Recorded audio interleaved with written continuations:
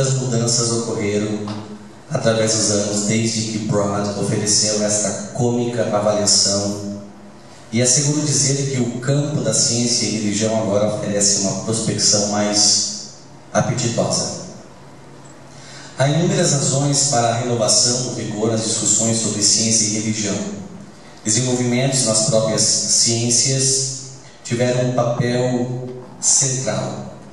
A cosmologia, a ascensão para a prominência da teoria do Big Bang, tem conduzido a especulações sobre como as origens temporais do universo podem estar vinculadas com a ideia de criação. Relacionando, relacionado a isso, o fato surpreendente de que o nosso universo aparenta ser notavelmente afinado de forma precisa, fine-tuned, para a emergência da vida inteligente, tem, ao menos para alguns comentadores, dado fôlego à nova vida, ao que já tinha sido considerado por muitos como argumentos moribundos para o que hoje chamamos de design inteligente. Os argumentos do fine-tuning, afinação precisa, também contaram seu caminho na química e na biologia, levantando questões intrigantes sobre propósito, teleologia e o seu lugar nas ciências. O mundo quântum, profundamente misterioso, continua a desafiar o entendimento do senso comum sobre matéria e causalidade inspirando especulações religiosas e filosóficas sobre a ação divina e o livre-arbítrio, e de modo geral sobre a natureza da realidade em si mesma. Nas neurociências, nossa crescente capacidade de estudar a estrutura e função cerebral mantém a promessa de desnudar alguns dos correlatos físicos de experiências religiosas e, portanto, derramar alguma luz sobre a natureza da própria religião. O conhecimento das bases físicas da hereditariedade, como a descoberta da estrutura do DNA em 1953, seguida do mapeamento completo do genoma humano em 2000, também tem implicações para as perspectivas religiosas sobre a pessoa e sobre o que é para ser considerado ser humano. Desenvolvimentos como estes apontam para a possibilidade de explicações puramente materialistas do pensamento humano, crenças e desejos.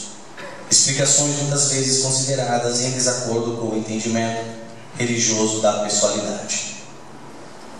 Deixando de lado os desenvolvimentos nas próprias ciências, outra razão para a intensificação obrigado, do interesse na ciência e religião tem sido a persistência e de fato o crescimento de influentes movimentos anti-evolucionários.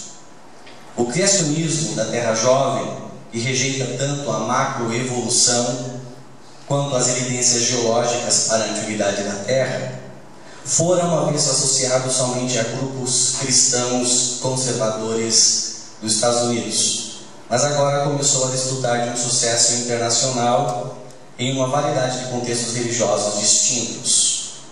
Também, crescendo em influência está o um movimento que quem sabe vocês já ouviram falar, do design inteligente, ou projeto inteligente, que embora difere do criacionismo da Terra Jovem, em aspectos importantes, também afirma que explicações biológicas da adaptação dos seres vivos estão incompletas, a não ser que se permita um espaço para explicações de cunho teístas. Esses movimentos desfrutam de um significante perfil público, em parte devido aos processos judiciais por sua inclusão nos currículos de ciência nas escolas de ensino médio nos Estados Unidos.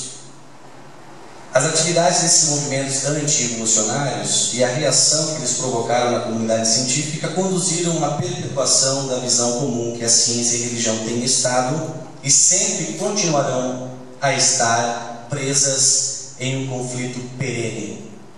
Desde uma perspectiva filosófica, eles também levantam algumas questões interessantes sobre o que conta como ciência legítima. e sobre onde devem ser traçadas as fronteiras entre ciência e religião. Igualmente significante, esses debates inspiraram discussões mais gerais sobre o papel da ciência e da religião nas democracias liberais modernas. Confirmando a terceira lei de Newton, a ascensão à prominência dos grupos anti-evolucionários foram acompanhados pela recente explosão de um ateísmo agressivo cientificamente motivado. Muitos dos princípios básicos do novo ateísmo, representado por figuras como é, Richard Dawkins, Sam Harris e Daniel Dennett, têm relação direta com as questões da ciência e religião. E é comum escutar seus principais defensores reivindicar que a ciência e a religião representam visões de mundo, cosmovisões mutuamente incompatíveis. Essas visões são atendidas por teses históricas, segundo as quais a ciência e a religião, através da história, sempre estiveram em desacordo. A religião, nessa perspectiva, resolutamente dualista de mundo, é a causa principal dos males da sociedade moderna. A ciência, em contraposição, é retratada como o motor principal do progresso e, portanto, como a esperança futura para o mundo. Ao meu ver, os argumentos gerados por este ateísmo forte, assim também como por muitos de seus oponentes religiosos, não têm sido sempre de primeira classe ou de muita qualidade.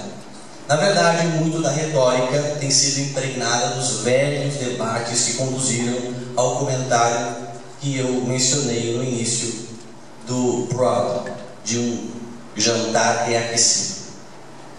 Mas sua emergência tem levado ao renovo de discussões públicas, como vemos hoje aqui, sobre a natureza da ciência, da religião e de suas relações mútuas. Contribuindo de um modo menos direto para um interesse renovado na ciência e religião, é o fato que conquistas tecnológicas dramáticas nas ciências biomédicas agora apresentam desafios enormes para as posições morais tradicionais, muitas das quais têm sido instruídas por perspectivas religiosas.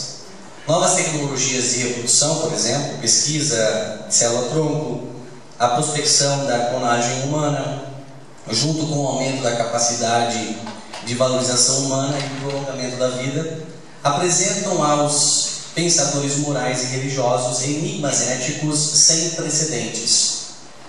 Estes incluem não somente questões práticas que tenham a ver com procedimentos biomédicos, mas também questões filosóficas mais gerais sobre como princípios religiosos que perduraram, tais como o caráter sagrado da vida humana, podem ser aplicados neste admirável mundo novo gerado por essas tecnologias médicas. Por vezes, novas políticas médicas e técnicas terapêuticas encontram resistência de grupos religiosos particulares. No mesmo sentido, essa situação fez surtir novos e criativos modos de pensar sobre o significado dos valores religiosos tradicionais e como eles podem ser aplicados nesse contextos novos e até então não familiares. Como podemos ver, as questões que se aglomeram em torno do tema aqui abrangente de ciência e religião são variados e há diversas maneiras de abordar.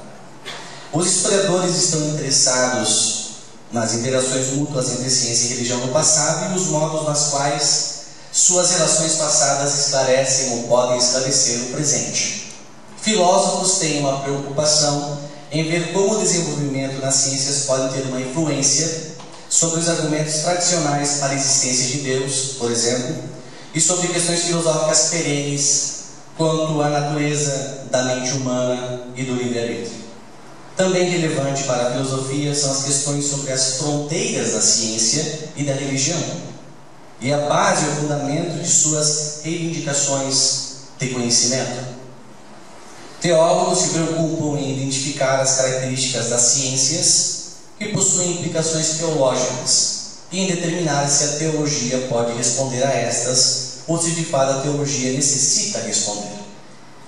Sociólogos identificam padrões de crenças sobre a religião, a religião e as ciências na, na sociedade e analisam as relações de poder entre instituições religiosas e científicas. Finalmente, os próprios cientistas com frequência se engajam em especulações sobre quais implicações seus esforços científicos possam ter para a crença religiosa. Não vou me delongar, eu ia fazer alguns, dar alguns exemplos sobre a dimensão histórica desse conflito, casos típicos como muitos citam para poder sustentar o mito do conflito, é, como o caso de Galileu, é, mas não vou me ater isso agora. Vou ao final da minha fala, né? Vamos lá.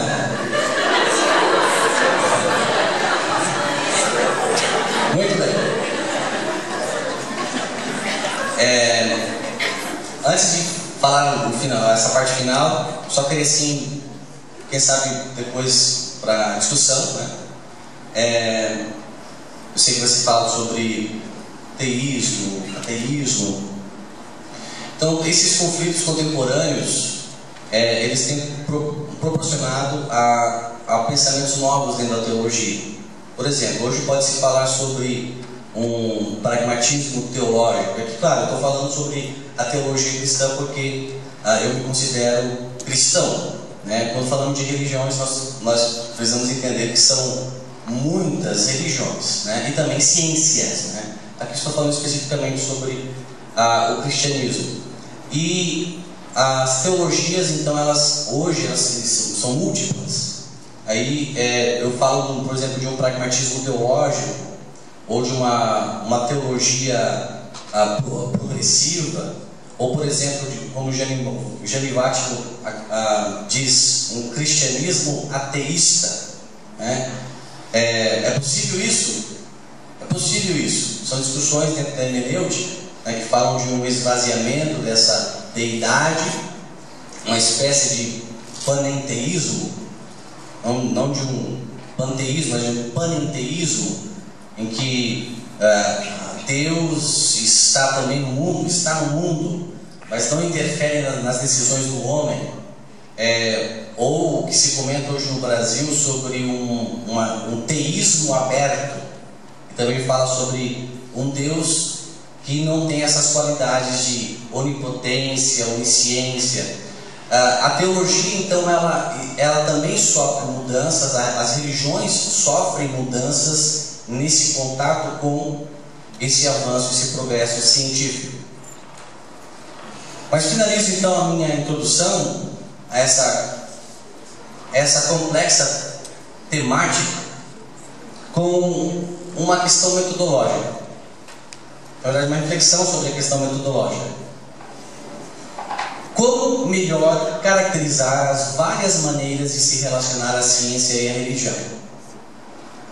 Existe uma tipologia muito utilizada, uma tipologia é, que foi feita, cunhada por Ian Barbo, que ele sugere quatro modelos: o modelo do conflito, o modelo da independência, o modelo do diálogo e da, o modelo da integração.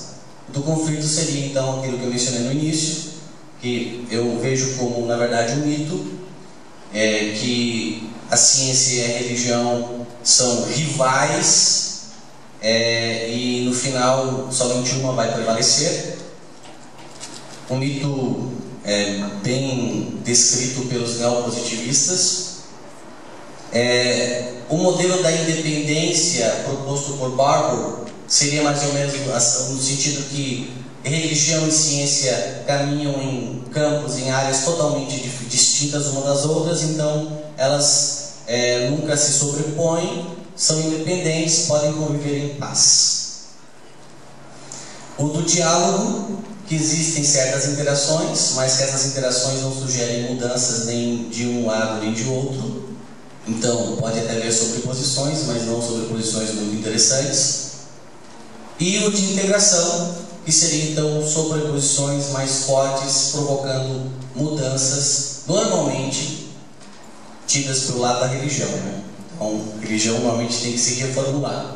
Contudo, alguns teóricos, como por exemplo Plantinga, Alan Plantinga, ele vai falar sobre uma ciência agostiniana, uma ciência cristã, é, ou alguns filósofos e teóricos é, vão falar sobre ciências, uma ciência islâmica.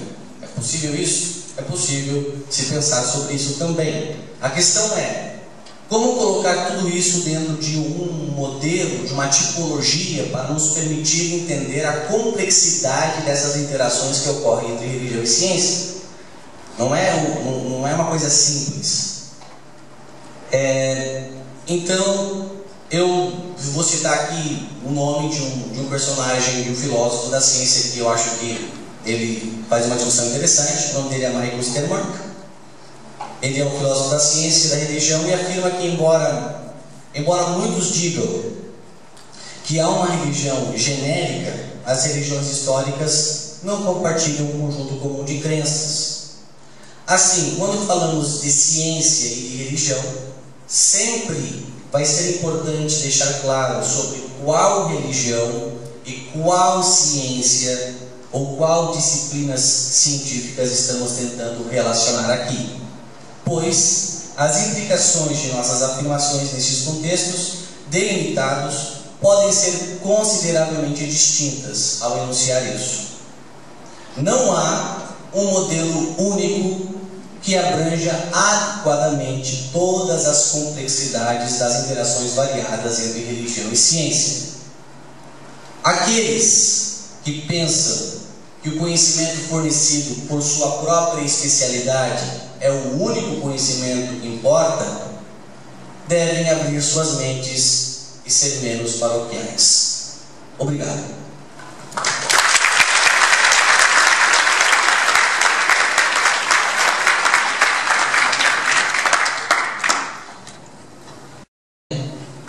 Então agora sem delongas, esquecendo do meu texto enorme, vamos ao nosso convidado ilustríssimo, mestre Fernando Schaeffer, é assim?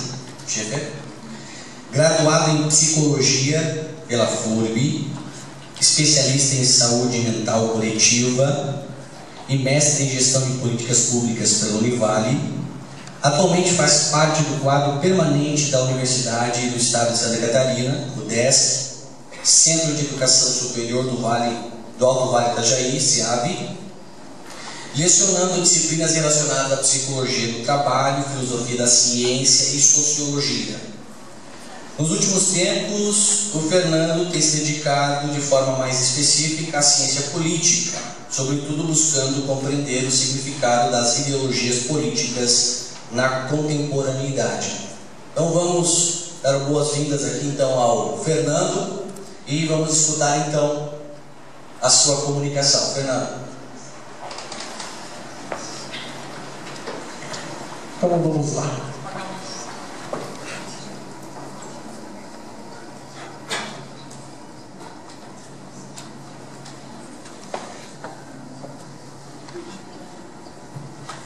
Então, assim, uh, tá um prazer uh, estar de novo aqui na, na FAMEG. Então, sinto saudades, os ex-alunos sabem disso. Né? E, e eu botei como contextualização, justificando um pouco como eu acabei ah, começando a pensar a respeito desse tema. Né? Então, já na, na, graduação, na verdade, eu comecei a incomodar muito com essa questão. Tá, Deus, né? ah, o que é Deus? Né? O que é a Bíblia? Né? Isso é uma história mesmo? É um mito? Etc. Isso me fez... Ah, por muitos momentos, né? e na biblioteca começar a estudar e a refletir sobre isso. Né? E o que eu vou trazer aqui, né, até brinquei antes com os alunos, eu vou ter que fazer uma boa introdução. Né? Ah, é, na verdade, ah, trazer uma forma de compreensão, né? e que é uma forma de compreensão ah, agressiva. Né? Agressiva no sentido ah, até porque eu vou colocar que, ao meu ver, religião não tem, na verdade, não é sinônimo de moralidade, ou na verdade, para mim, são coisas distintas, né? mas agressivo no sentido de uh, ser um contraponto né, ao que a maioria das pessoas acreditam. E isso eu acho que seria perigoso eu estivesse falando de ensino fundamental, né? mas não perigoso se falando de ensino superior, onde eu acho inclusive o contraponto ele é interessante para, na verdade, colocando na balança, poder refletir a respeito de um aspecto que provavelmente se tem menos acesso no dia a dia. Então essa é a minha ideia, e por isso, né, às vezes eu colocava uma frase e pensava, meu, será que eu vou deixar isso? Né? Não, vou deixar assim. Né? Ah, então, então, porque eu acho que é interessante realmente esse avesso, para que vocês possam pensar ah, de um ponto de vista que é pouco comum. Isso, e daí, claro que eu vou falar da minha forma de compreensão né, e vou trazer argumentos né, para embasar isso. Claro que, ah, por isso que a gente na mesa redonda, né, estou disposto a refletir sobre, inclusive, a mudar as minhas ideias. Né? Então, como dizia né, Sócrates, né, no Só Sei Que Nada Sei, né, então admitir ignorância ou realmente estou uh, disposto a poder rever, inclusive, as minhas ideias. Né? Mas é só deixando claro que eu acho que essa uh, ideia diferente ela é interessante para realmente, porque eu acho que as pessoas têm menos acesso a isso. Então, uh, Aqui eu coloquei uma questão, claro que concordo com, com o Kevin, que é algo extremamente complexo, então até fazer essas categorizações, né, eu acho que são uma, é mais uma questão didática né, do que uma. não é algo tão simples assim. Ah, embora daria para se colocar, digamos, em dois grandes grupos, né, ah, uma visão, né, uma forma possível de se falar dessas categorias né, de crenças ou não crenças, a gente teria de um lado né, o teísta, que é aquele que crê uma inteligência sobrenatural, que além de sua obra principal, a de criar o universo, ainda está presente para supervisionar e influenciar o destino subsequente de sua criação inicial. Então, nesse caso, o que se tem? Além da noção do, ah, do criador, né, é alguém que ah, esse personagem consegue e acaba, de certa forma, interferindo né, ah, e fazendo parte ah, da vida das pessoas. Então, essa é uma possibilidade, então, então esse é o teísmo. Outra ah, possibilidade, então, seria o que? O teísta. Ele acredita em uma inteligência sobrenatural, mas uma inteligência cujas ações limitaram-se a estabelecer as leis que governam o universo Daí entra, por exemplo, que o Kevin falou, a, a teoria do design inteligente, né? que é um, eu botei assim, assim, mais didático ainda, entre parênteses, um teísmo amenizado. Né? Então, na verdade, uh, existe né, uh, algo que dá lógica a tudo, né? embora ele tenha relação simplesmente ao ato da criação e depois ele interfere mais na nossa vida. Então a teoria do design inteligente ela pode ser enquadrada nesse teísmo. Depois se tem o panteísta. A palavra Deus é tida como sinônimo não sobrenatural para a natureza, para o universo ou para a ordem que governa seu funcionamento, que seria uma espécie de ateísmo enfeitado. Então se chamam, na verdade, se dá o nome de Deus às leis da natureza. Então, essas várias leis, né, ah, acreditar que isso pode chamar de Deus, né? Então, não sei se daria para colocar, se bem que isso, como eu falei, como é didática, né? mas, por exemplo, o próprio ah, Einstein, ele fala seguinte, ah, se me perguntasse, acredita em Deus, você vai dizer, tá, que Deus está falando? Se é a figura do velho barbudo, né, que olha o que a gente está fazendo e ainda ah, ah, se quiser o, o bom, é o, o bem vai para o lado direito, o, o mal para o lado esquerdo, essa figura de controle, eu não acredito. Agora, se tu chamar ah, de Deus as leis da natureza, talvez esse eu acredite. Embora, eu falei, são ah, essa frase se encaixa nisso. Né? Embora, ah, não sei se poderia ser considerado, inclusive, um, um panteísta. E para o ateu não há nada além do mundo natural e físico nenhuma inteligência sobrenatural vagando por trás, né, por trás do universo observado. Então, que não haveria nenhuma lógica, nada ah, que, que explicaria, na verdade, o mundo natural e físico. Então, essa seria a visão do ateu.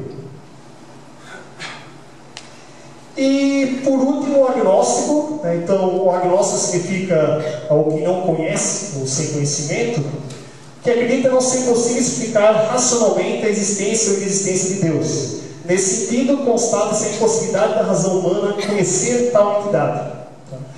Então, aqui eu particularmente. Ah, aqui, na verdade, a ideia que está, então, embora é muito criticada essa ideia do tipo ah, não dá para pensar sobre, então não vou pensar, então sou agnóstico. Ah, para os agnósticos, né, eles acham que a razão humana não consegue dar conta desse problema. Então, por isso, melhor do que acreditar em qualquer coisa é admitir ignorância em relação ao assunto. Esse seria o agnóstico.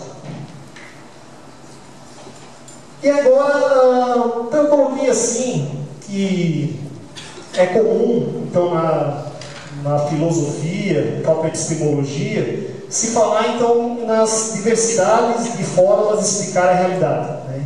Então, vários autores né, uh, colocam, na verdade, três grandes formas de explicar as coisas. Né? Então, uma que seria é o conhecimento mítico, outra forma, o conhecimento filosófico, e a outra, o conhecimento científico. E daí, assim, alguns ainda colocam então, conhecimento mítico igual a conhecimento religioso. E tanto a filosofia quanto a ciência, e daí, claro, né, a primeira questão que pode estar presente, né, que no caso do mito, para acreditar, basta ter fé. Enquanto que na filosofia e na ciência, ah, o que na verdade dá suporte é a razão. Nós devemos partir a partir dessa perspectiva. Então, claro que, embora se possa dizer, uh, então a filosofia, a mãe de todas as ciências, né, onde a gente tinha lá, sei lá, o Demócrito falando, falando que todas as coisas eram compostas por átomos, que, digamos, uh, hoje, uh, estudando a biologia, se falar do Demócrito, assim como Pitágoras, falando que todas as coisas são números, que hoje está incorporado na matemática. Então, na verdade, a filosofia, toda pessoa que tinha disposição para tentar entender alguma coisa é considerado um filósofo. Né? Então, hoje, na modernidade, então, o que acontece? Existe a divisão das áreas do conhecimento, né? onde a ciência, na verdade, acaba por um caminho um tanto diferente, no sentido que ela parte da lógica da experimentação, observação, o que na filosofia, a, a filosofia não. Né? Então, ela, ela trata, inclusive, uh, de pensar coisas abstratas, né? Onde nem necessariamente, onde tu não consegue ter acesso a respostas concretas, porque tu não consegue observar. Embora tanto o conhecimento filosófico quanto científico eles se pautam na razão. Então a questão é lógico, é racional. Né? E por isso o que eu vou tentar fazer agora é tentar desenvolver uma linha de raciocínio, que é a linha de raciocínio né, que eu venho construindo né, há algum tempo, e como eu falei, pode parecer agressiva, né? mas eu acho que, que vale. Né? Como eu falei, história está falando de ensino superior, não de ensino né, fundamental, né? então cabe, por exemplo, ah, serve, não serve, tem sentido, não tem sentido. Claro que ah, eu acho que a minha grande, a minha grande questão, que eu acho complicado, né? eu acho que, por exemplo, tanto política quanto religião, ao meu ver, tem que ser diferente de que torcer para time de futebol, onde eu sou porque eu sou. Né? Eu acho que pensar na questão de crença, né? assim como pensar na questão da política, né? eu acho que tem que, na verdade, pensar assim, racionalmente sentido. Né? E claro que quem não estiver disposto né, a, a, pensar sobre, né, eu acho que a minha fala vai ser mais agressiva ainda. Mas eu acho que esse é o meu convite? Ah, que vocês estejam dispostos a refletir sobre.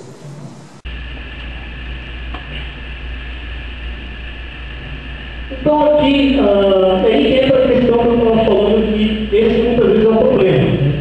que a religião tem determinadas ideias que Deus e que denominamos sagradas, santas, algo assim. O que isso significa né, é que essa é uma ideia, uma noção sobre a qual você não pode falar mal, simplesmente não. Por que não? Porque não é pronto. Eu acho complicado isso, e não a gente está falando de futebol. Eu acho que tem como a gente né, pensar sobre isso, e eu acho que é um exercício interessante. Claro que ah, se fala, ah, por exemplo, tem pessoas que estão preocupadas com isso, imanência o quê? Eu estou preocupado se isso vai resolver o meu dia a dia, vai melhorar o estudo, trabalho, dar resultado fácil. Né? E tem pessoas mais preocupadas com a transcendência. Né? Então eu vim para onde eu vou, eu, na verdade, essa preocupação me moveu a pensar sobre isso. Né? Claro que imagino que para vocês estarem aqui, ah, provavelmente, é bem provável que vocês também já pensaram sobre isso e têm curiosidade de pensar mais sobre isso. Claro que para algumas pessoas vão dizer, por que isso serve? Qual utilidade isso? Mas ao meu ver é algo que, por exemplo, ah, me angustiava, hoje me angustia menos, né, porque eu tenho na uma teoria, que não é melhor nem pior, é uma teoria, né, de uma forma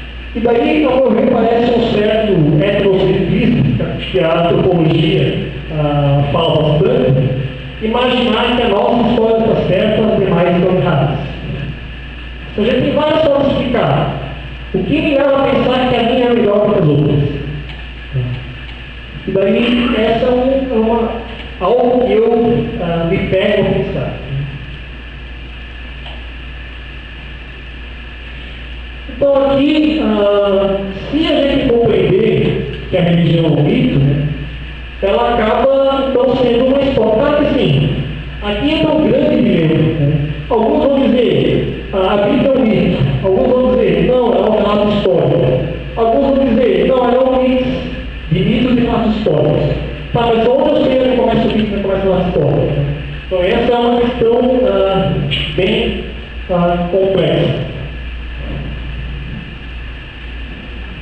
也依然都过了他的努力去帮助我呃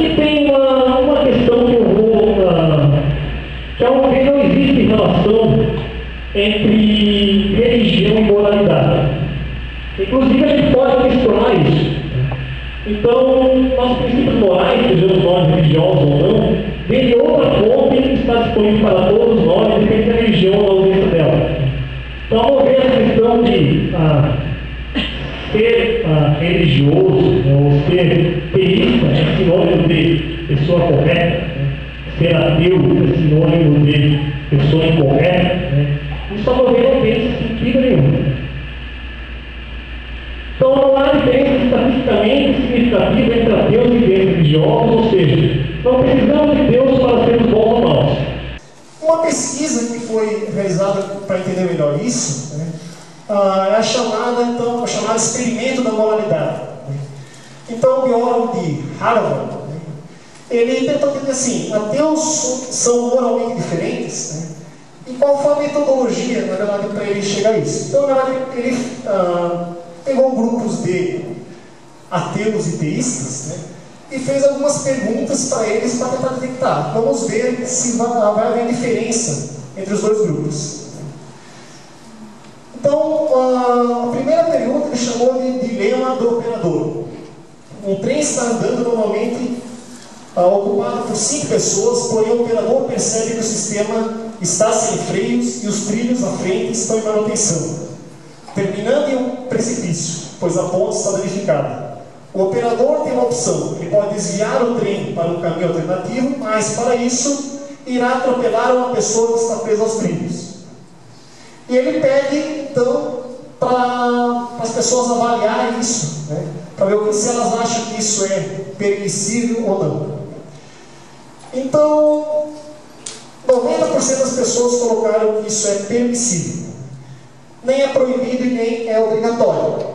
Então, a grande maioria colocou que é, tem sentido, então, uh, sacrificar uma vida, né? imaginando que se continuasse naquele uh, caminho, se sacrificariam sim. A outra seria o dilema do salvamento da criança. Uma pessoa completamente saudável está passando por uma trilha na floresta. De repente observa um lago e uma criança se afogando. Não há qualquer ajuda próxima e não há possibilidade de chamar o resgate. Mas há um problema: se a pessoa mergulhar no lago, ficará com as roupas todas molhadas e não terá como vestir outras. Resultado: 97% achou obrigatório pular no salva-criança estranha esses 3%, né? que privilegiam a roupa né, a salvação. Ok. O terceiro seria o dilema do transplante. Um médico observa cinco pessoas em estado grave na UTI, em seu hospital. Cada uma delas precisa urgentemente de transplantes de órgãos diferentes. Há uma chance: o médico pode matar uma pessoa saudável internada por causa de uma crise de enxaqueca e utilizar seus órgãos para salvar as outras cinco pessoas na UTI. 97% é proibido. Né? Então, realmente, é, esse argumento é um tanto né, cruel demais. Então, em síntese, né, embora não tenha colocado a distinção entre os dois grupos, né, ah, não houve diferença estatística nas respostas de ateus religiosos. Ateus religiosos podem ser pessoas centradas, honestas e morais. Claro que sim, isso é uma pesquisa feita, né? ah, mas ao meu ver, ah, não existe relação nenhuma entre ah, ateu né, será uma pessoa má e um teísta ser uma pessoa né, boa, totalmente correta. Na verdade, e essa é uma pesquisa que tentou refletir sobre isso. E ainda assim, eu trouxe, ah, como eu falei, eu queria incomodar um pouco, né? ah, como, é, como falei antes do ah, o Janis né, Fidelis Tomerini, ele fala que deu uma, uma, boa aula de filosofia é aquela que os alunos saem atordoados. Né? Então, você está falando assim, ah, tentar atordoar um pouquinho eles. Né? Então, uma forma, se for pensar na Bíblia como uma referência, ou religião como uma referência moral, ah, primeiro, se ela é uma história, um mito, né, não seria ela uma boa referência moral. Né? Se a gente compreender ela enquanto um relato histórico, né, então se a gente for analisar, né, eu já fiz questão ah, de ler isso. O Deus ah, do Antigo Testamento, principalmente, né, que no Novo Testamento ah, ele ficou mais bonzinho, né, mas no Antigo Testamento, né, ah, se for ver, existem vários momentos que existem questões bem complicadas no sentido de uma defesa né, do racismo, infanticídio, homofobismo. Né. Então, sugiro, né, para quem nunca fez isso, ler trechos do Antigo Testamento. Então, claro que né, ah, uma questão que a gente pode fazer é que assim, né, a questão que se privilegiava naquele momento, em termos de cultura, valores, isso foi se modificando através dos tempos. Tá? Mas se foi se modificando através dos tempos, talvez não tenha sentido a gente imaginar que aquilo lá seja uma boa referência moral do que a gente tem hoje. Então, trouxe uma lição mais amenizada em relação a isso. Tá?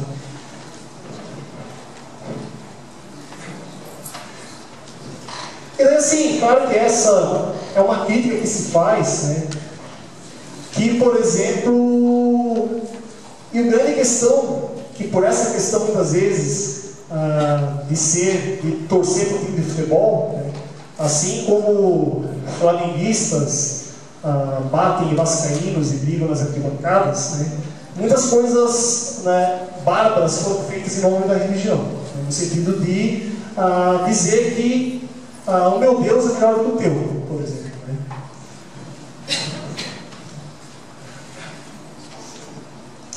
Então, assim, ah, claro que isso aqui não é um fato, né? Assim, não dá para dizer isso com tanta. Né? Mas, assim, em relação ao ateísmo, é muito mais comum né, se ver então essas brigas de diferenças de ideológicas, não deixam de ser ideológicas. Né? Ah,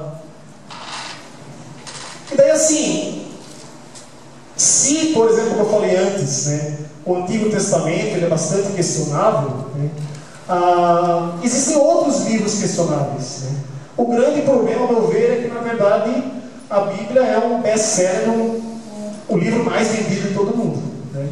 Então, eu às vezes me pergunto, né, ah, para os que defendem ela com tanto vigor, né, ao meu ver, ah, ou, ah, ao meu ver assim, será que todos leram? Né? Se todos leram, que todos compreenderam? Né? Eu falo isso porque eu, na verdade, pô, eu vou ler um pouco para ver com a lógica. Então, meu ver, existem ah, furos. Né? Como eu falei, a questão é, é um mito? Né? É um fato histórico? Né? Ah, é um mito, tá, mas como é que eu sei tem nota de rodapé para me dizer quando que é um mito, quando que é um relato histórico? Né? Realmente ah, fica complicado, na verdade, a gente, ao meu ver, ter a Bíblia como uma referência moral.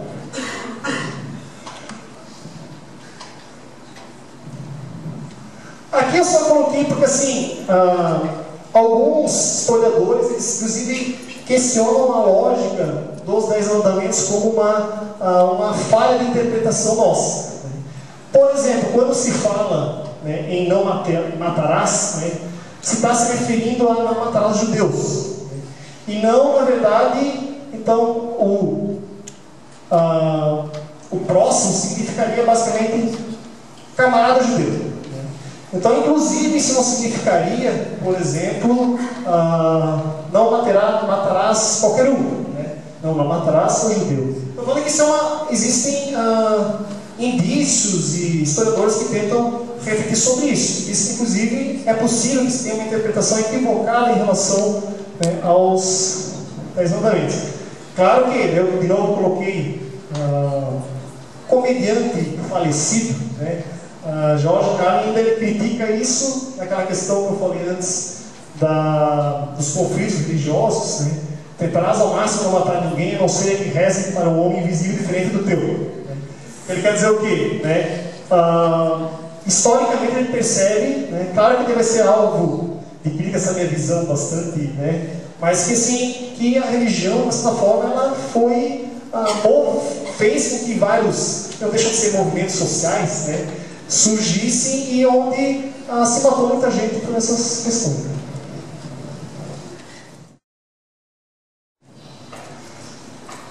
E daí, assim, uma pergunta que se tem também nessa, nesse sentido, né? se Deus não existe, né? por que ser bom? Às vezes se, se pergunta a respeito disso. Como eu coloquei antes que não necessariamente a moralidade está relacionada à questão religiosa, né? A Einstein, inclusive, então, ele fala o seguinte: né? se as pessoas são boas só porque têm a punição e esperam a recompensa, então nós somos mesmo os pobres coitados. Se eu vou ser bom, né? porque na hora eu estou preocupado em uh, ir para a plaquinha da direita, o inferno, né? ou eu vou ser bom né? para pegar a plaquinha da esquerda e para o céu, né? eu acho, ao meu ver, por exemplo, as recompensas né? uh, se dão no próprio plano, né? Ah, não isso é muito complicado pensar essa, essa questão.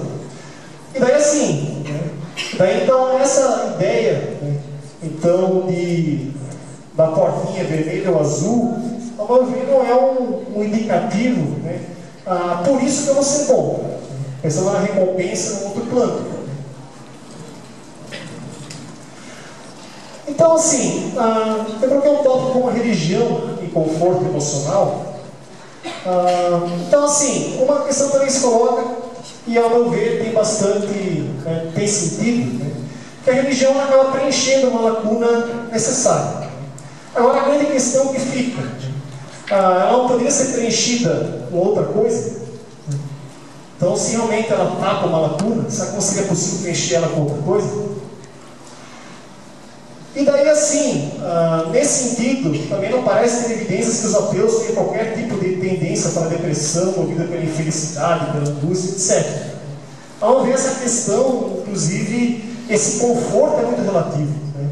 Porque, na verdade, tu pode, cada um de nós busca conforto em fontes diferentes. Então, por exemplo, crer ou não crer, ao meu ver, não é, significa ter conforto emocional ou não ter. Ver, essa, isso é uma questão muito pessoal de como cada um lida com isso.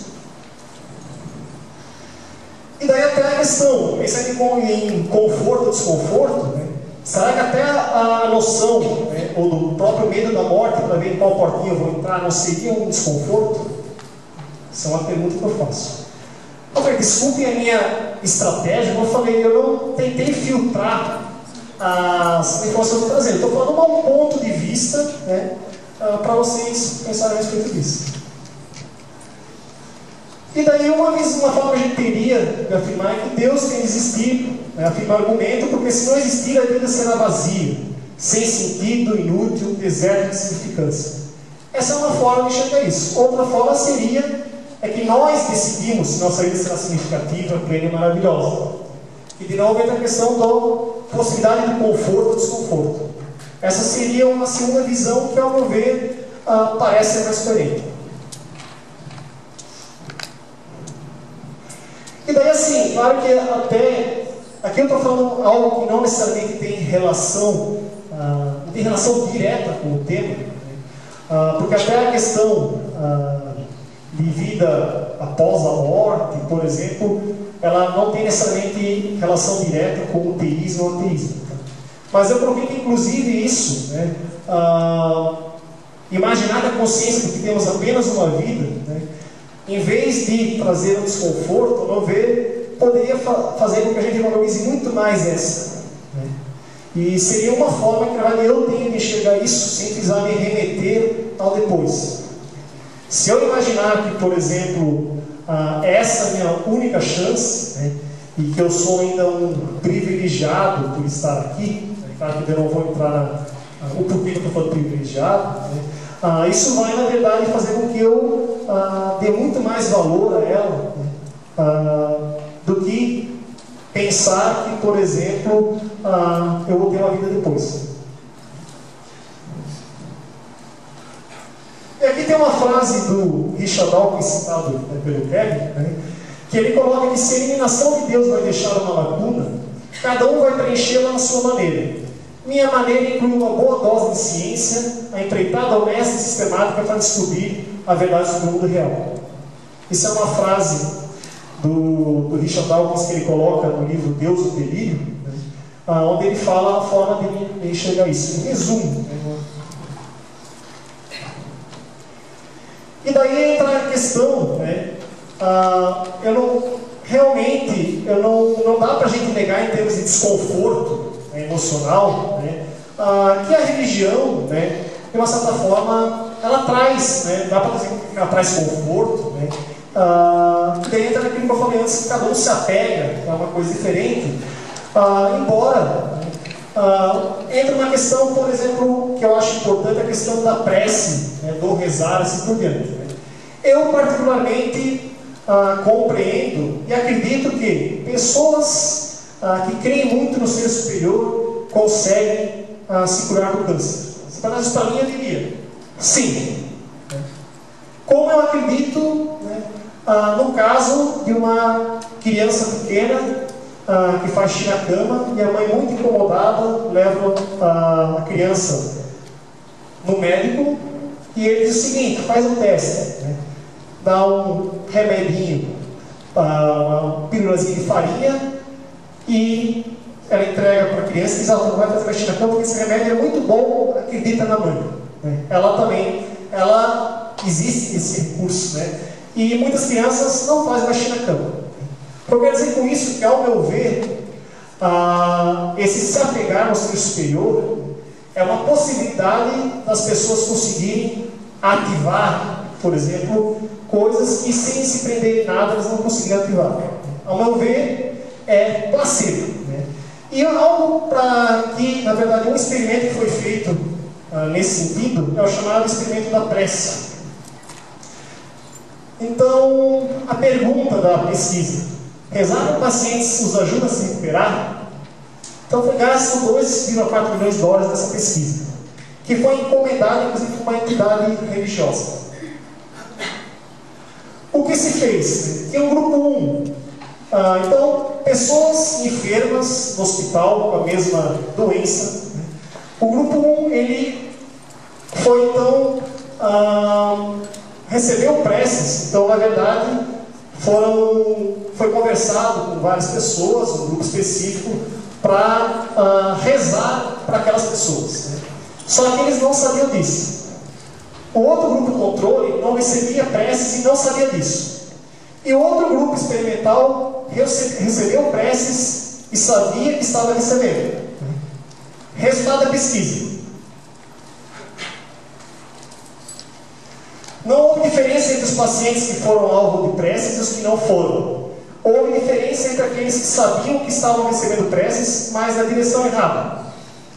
Como assim? Imagina vocês na cama do hospital e vem alguém dizer assim: Ó, oh, nós vamos encomendar uma prece para ti. O que passaria na cabeça de vocês? Meu Deus, né? não tem como. E as pessoas que sabiam que foi enviado prece, elas pioraram.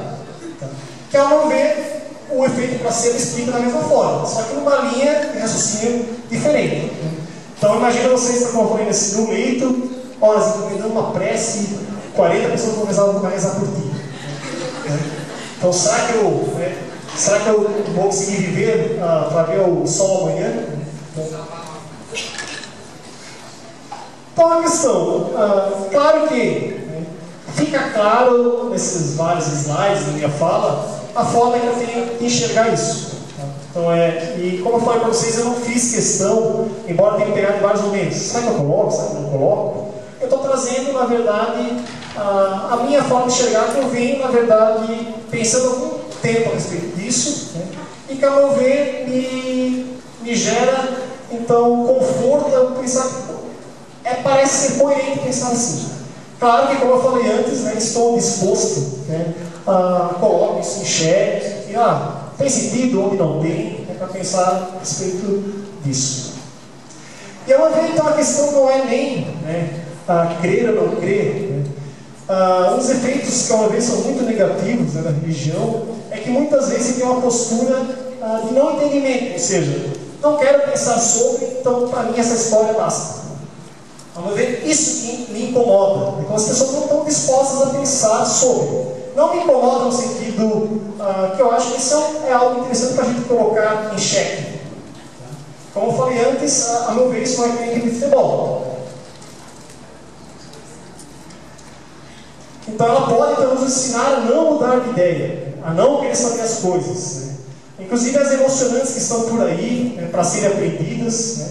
ah, que muitas vezes a gente teria, poderia ter, na verdade, ah, buscar esse caminho de compreender as coisas de uma outra forma para realmente pensar, tem sentido, não tem sentido? Então muitas vezes então, ela não, não existe justificativa e não tolera a argumentação. Então, ao meu ver, esse é o grande, é o grande problema né, dessa, desse tempo. E assim, aqui eu fiz uma apologia, né?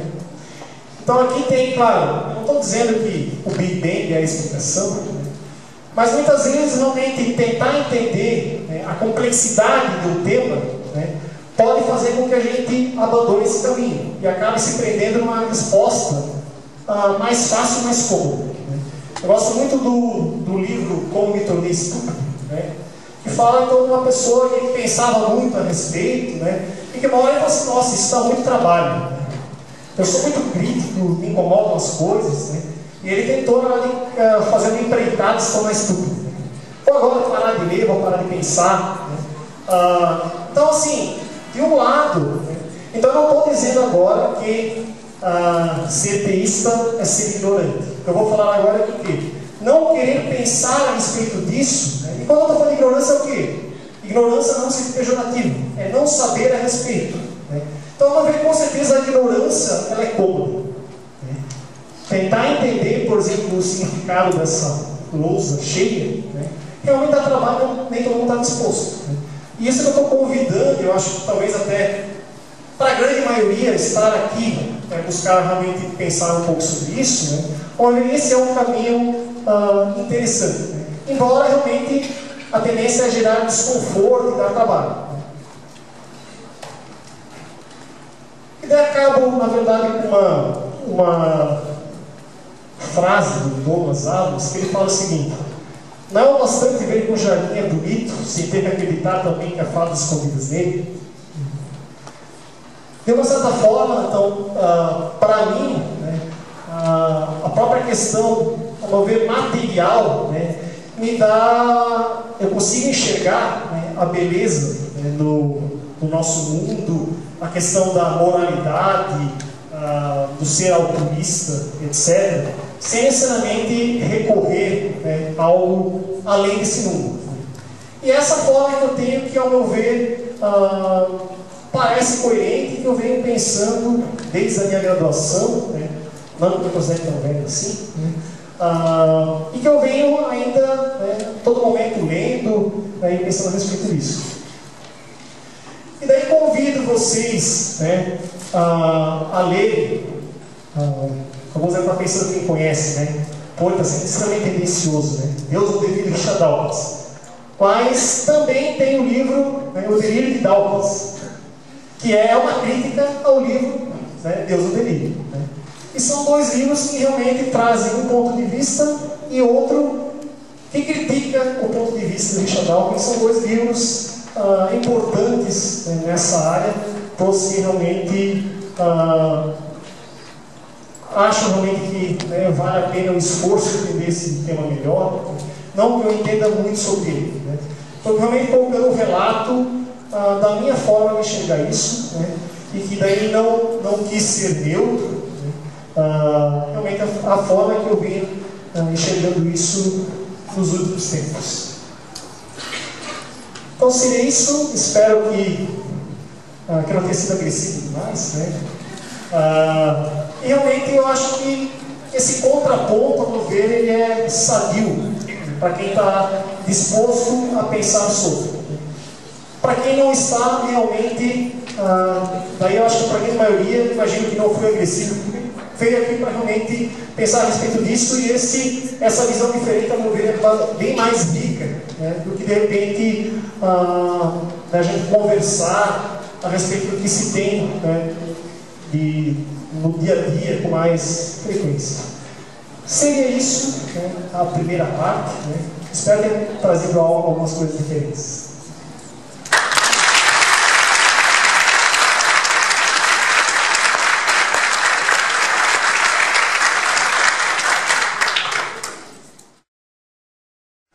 Muito bem. Muito obrigado, professor Fernando. Agora, então, já vou pedir então, para o nosso outro convidado, o professor mestre Marcelo Giraldi Chapo. Chapo. É formado em Física, com habilitação e licenciatura plena pela Universidade Federal de Santa Catarina. Possui mestrado em Física Atômica e Molecular pela mesma instituição e está em andamento com o curso de doutorado na mesma área. Além disso, é professor de Física Geral do Ensino Superior da Universidade de Santa, do Estado de Santa Catarina, DESC, atuando no campus CIAB em Ibirama. Então, conosco agora o professor Marcelo. Obrigado, Kevin. Boa noite, gente. Bom, primeiro eu gostaria de agradecer o convite da FAMEC, a cumprimentar os demais representantes da mesa. É um prazer estar aqui, fui muito bem recebido desde a hora que cheguei e falar desse tema me encanta muito. Eu gosto mesmo de falar disso passo horas a fio, quem me conhece sabe. É sempre um prazer e na apresentação de hoje eu vou tentar trazer para vocês um pouquinho da ideia do que a gente sabe do ponto de vista científico sobre toda essa questão. Então a gente teve um texto inicial que eu concordo 100% do que ela falou, teve a apresentação instigadora, dedo na orelha do, do Fernando, e agora eu vou tentar dar um pouquinho de chão para a gente pisar dentro do que a gente sabe, dentro do que a ciência sabe hoje. E já quero deixar bem claro aqui, muito claro, que eu sou contra qualquer tipo de briga, eu sou contra qualquer tipo de discussão desaventurada, eu acho que o diálogo é o melhor caminho, eu acho que a gente tem que ser aberto a ouvir as outras oportunidades, a ouvir as outras possibilidades, e eu concordo 100% com a frase de que mudar de ideia é coisa de gente inteligente, seja para um lado, seja para o outro, eu mudei uma vez, posso mudar de novo, quem sabe, né? Então essa possibilidade eu tenho muito aberta na minha mente, e poucas pessoas têm essa possibilidade aberta, é uma pena. Bom, então a ideia é essa, uma visão natural que a gente conhece como natureza hoje. Vamos em frente. Então, primeiramente, por que discutir religião? Eu acho que isso só ficou bem claro. Né? Primeiro ponto, a questão, pode passando aí, a questão das ofensas. O que tem de gente que se você só olha o seu amigo e vai dar, ah, não, não, não, você não pode falar. Sabe, a pessoa já cria um bloqueio que ela não deixa nem você falar. Ela não deixa, ela não, não argumenta com você, você não argumenta com ela e mais, ela não olha mais na sua cara. Então tem uma série de coisas que acontecem quando a gente tenta discutir esse tipo de coisa e que passa batido, né? Então as pessoas se ofendem. Gente, não nos ofendamos com isso. É um tema maravilhoso, nós estamos falando da natureza, certo? Todo mundo aqui faz parte dela, o universo é o que é e, bom, pelo menos para mim, encanta muito. Então a gente não tem que se ofender com isso, a gente tem que estar aberto a essa possibilidade. Vamos lá. Fazer as pessoas refletirem, para saberem defender os pontos de vista, é o famoso, ah, eu acredito, acredito, por nada porque eu acredito.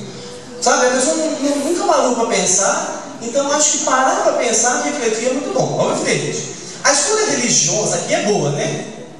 Se você troca a TV a cabo da sua casa de uma para outra, não vou falar estou fazendo propaganda, você troca de uma para outra, não vou dizer nem a uma nem a outra, o que, que isso vai mudar? O número de canais, o quanto você paga por mês, se vem brinde, se não vem. Agora, eu acho que a religião, como eles disseram ali, discutir religião é diferente do time de futebol, porque eu acho que vai influenciar muito na vida das pessoas. Eu acho que o nosso ponto de vista religioso, o nosso ponto de vista em relação à natureza, ele vai influenciar na forma como a gente passa o nosso tempo, ele vai influenciar na forma como a gente gasta parte das nossas despesas, ele vai influenciar na forma como você lida com você mesmo, você lida com o outro, sabe? Então tudo isso aí que vai guiar, que guia muitos passos da nossa vida, ele tem influência do ponto de vista religioso que você, que você optou. Então, a religião, ela influencia a vida, ela influencia a sua, a minha, de todos nós. Então, a gente tem que ter essa disposição para parar para pensar sobre ela. E, claro, acabar o preconceito, né? Ou seja, ah, eu sou ateu.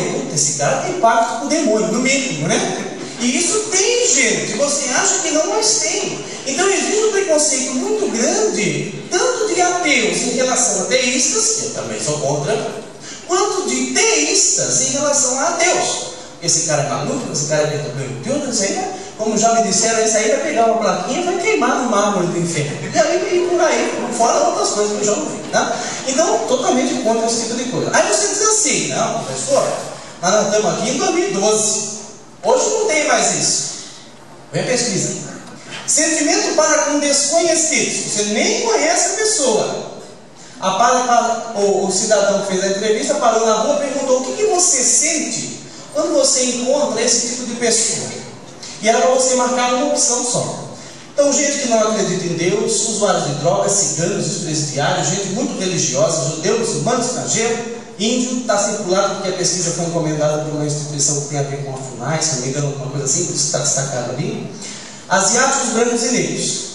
Que bom que os negros já estão lá embaixo, né? Eu acho que isso é a parte mais positiva dessa pesquisa.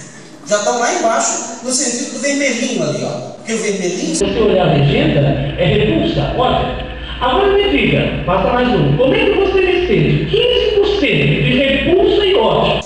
Uma pessoa que você nem conhece, só que ela não acredita em Deus. Sabe? E a mesma coisa eu posso perguntar ali na. na, na e a mesma coisa eu posso perguntar ali, ó, o que, que tem a ver os 3% de ódio contra muçulmano? O que, que ele fez para você? Ou judeu, ou a gente muito religiosa. Sabe, é uma coisa que não faz sentido. Você nem conhece a pessoa e você já está com repulso e ódio dela. Ah, mas então não tem preconceito. Tem, gente. E tem às vezes do lado de você, até você mesmo. Aí você está rindo, chamando, pai, eu não estou dentro do vermelhinho ali. E de fato tem que ser 15% de vocês que o vermelhinho, tá bom? Então vamos lá, gente, passa para frente. Então vamos enxergar a natureza. Não vamos perder muito tempo aqui, mas eu posso dizer que a gente tem duas maneiras de enxergar. Pode passar. Por exemplo, se eu pegar a lei da gravidade, se eu soltar um objeto, e você me desculpe o exemplo da física, mas é o que eu sei dar. Tá? Os outros eu lamento muito. Então você pega um objeto, segura aqui, solta. Quando você solta, para onde ele vai? Alguém sobe? Não respondeu, no chão. Cai. Eu sou por que cai? Ah, mas o Newton disse que tinha a ver com a gravidade. Você nem sabe o que é. Você diz, alguém disse que alguém falou que tinha a ver com a gravidade. Tudo bem, tem a ver com a gravidade, ela puxa. Então isso eu vou considerar que é fato. A gravidade existe, ponto. Tanto um teísta quanto um ateísta vão concordar. Em termos desse ponto. Como vão concordar? É muitas coisas. A gente não para para pensar nas coisas que tem discussão, mas a gente não para para pensar em quantas coisas eles concordam. Sabe? E na existência de muitas coisas eles concordam. A gravidade não é Se eu ver de maneira natural, eu vou dizer que a gravidade é uma propriedade do universo. Se você me perguntar, houve um momento de início, o tempo iniciou, o espaço iniciou, juntamente com esse início do universo, iniciaram-se todas as leis que a gente conhece nesse mesmo momento, e a gravidade é uma delas. Veja que eu estou dando uma visão natural. Agora, você pode dizer assim, então, professor, mas a gravidade veio da onde? Eu vou dizer, olha, ela foi criada, mas não no sentido de criação de que alguém mexeu, montou, não, cuidado com a palavra, tá? Ela foi criada, ela iniciou-se junto com o Big Bang. Então, professor, mas isso veio de onde? Vacilar. Isso veio de Deus. Então, Deus projetou o universo e projetou a gravidade. Está correta a explicação? Gente, está correto. O que, que, eu vou te dizer? Se tu me disser, olha, foi Deus que criou a gravidade, eu dizer, pô, muito bem. Que, sabe, eu não posso dizer nada para você. Eu não tenho acesso, eu não enxergo, eu não consigo ver, eu não consigo interagir com esse Deus que você colocou, e eu não consigo mais mexer com você. Então parou, conversa para aí. Então veja que nós estamos falando do mesmo fenômeno, que é a queda de um objeto, de dois pontos de vista. Você pode ver isso de uma maneira natural, e você também concordando com a maneira natural, pode botar a causa inicial em Deus. Se eu não estou enganado, Tomás aqui tem uns trechinhos lá que ele fala isso, né? Então você tem uma série de causas, uma leva a outra, uma leva a outra, mas a causa inicial é Deus. Tem gente que diz que isso é prova da existência de Deus. É se você acredita que ele existe. Aí é, olha, então a causa inicial é Deus. Tudo bem, então você acredita que a causa inicial é Deus. Mas você tem que acreditar para isso provar alguma coisa. Se você não acreditar, isso não prova nada. Então, é, você tem essas duas maneiras de você enxergar. Uma é baseada na ciência, aquela que é senso comum que a gente passa hoje, e a outra aí baseada na religião. Não que eu nunca, apesar de nunca ter visto um padre um pastor ir pregar sobre a gravidade até hoje. Cadê? Vai. Outra coisa, essa é quente. Caiu um avião, matou todo mundo. Isso aí complicou, né? Não, mas tudo tem um motivo para acontecer. É o que eu mais ouço. Que motivo? Não sei. Tudo tem um motivo para acontecer. Não sei. Então, tragédias acontecem, claro que acontecem. Não há quem discorde disso. De novo, estou falando de um fato. Tragédias, acidentes, nós estamos sujeitos a isso. Todo mundo aqui está, pode sair dali, cair na estrada, morrer, pronto, mas estamos seu velório. Não, claro, que não é uma coisa assim que vai acontecer, né? não posso dizer que vai acontecer, mas é uma coisa que todo mundo está sujeito. Agora, como que eu explico isso? Gente, eu vou invocar de novo as minhas duas maneiras de explicar. Eu posso ter uma visão natural, eu posso dizer, olha, acidentes acontecem, existe uma estatística, tantos por cento das pessoas vão ser atingidas por um raio. E olha, se você for, joga na mega cena no dia seguinte, porque a chance é pequena. Tantos aviões vão cair no ano, tantas coisas vão acontecer no ano. Natural. Tem coisa boa que acontece? Claro que tem. Tem coisa ruim que acontece? Claro que tem. Agora, a questão é como você bota coisa ruim. Se você dizer lá que a coisa ruim, passa mais um, que existe uma razão para Deus ter provocado isso, você também está tendo uma visão diferente da natural no sentido científico. Você não pode dizer, já pensou se um perito de acidente de trânsito vai dizer, olha, aconteceu porque Deus influenciou o menino na direção do lugar. Não pode. Não, mas estou falando sério. Né? Você não pode invocar certas coisas em determinados contextos. Existem contextos que valem, existem outros que não valem. A gente tem que tomar um pouco de cuidado com isso. Mas mais um. Então, aqui eu coloco algumas frases que mostram justamente a, a dualidade entre essas duas coisas. Olha só, Madre Teresa. A AIDS é um castigo de Deus para um comportamento sexual inadequado. É uma forma de explicar? Claro que é. Entende? Claro que é uma forma de explicar. É a questão de que Deus provoca, a questão de que Deus influencia, de que tem motivo para as coisas ruins acontecerem. O problema é que se você faz um ato sexual inadequado, você vai ter AIDS. Ou, sei lá, tem uma chance disso, não necessariamente vai ter, né? Mas o seu filho vai nascer com AIDS e que comportamento sexual inadequado ele teve? Não sei. Não, eu não sei, eu estou aqui refletindo, não estou dizendo, tá? Estou refletindo junto. Então, a gente tem que tomar certos cuidados, porque as coisas ruins abrangem todo mundo. Infelizmente, as coisas ruins não escolhem pessoas. É uma pena tinha tanto muito merecido, mas tudo bem. E você o Christian Galvez, que ele é um dos ícones hoje, como o Kevin também falou, de cutucar, mas ele vai para bater. Né? Eu tenho minhas ressalvas em relação a esse tipo de comportamento, como eu acredito que o Kevin também tem, a gente concorda nesse ponto, mas ele dá uma outra visão. Olha, a natureza não é cruel, apenas implacavelmente indiferente. Essa é uma das lições mais duras que os humanos têm que aprender. E é difícil aceitar isso, eu sei que é. Eu não estou dizendo que é fácil. Mas também é uma outra maneira de ver. Então, como a gente decide entre ambas, né?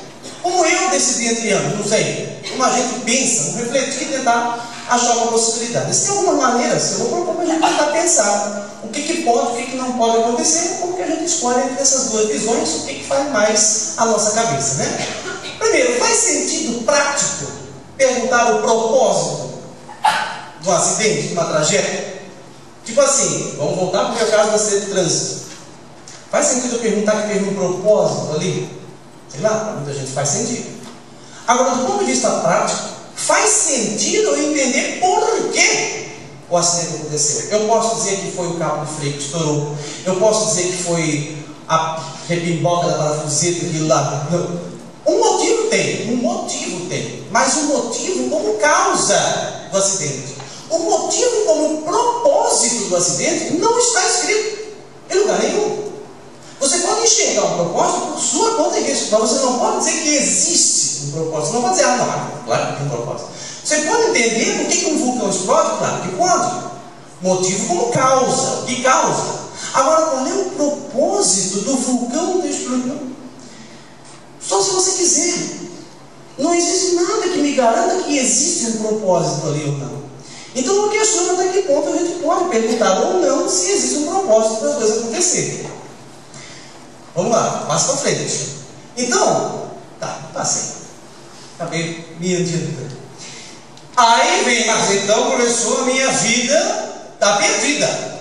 Não tem propósito, né? Faz sentido eu perguntar o propósito da minha vida? Aí você vai dizer assim: se você está dizendo até agora que não faz sentido, a resposta para essa pergunta só pode ser não.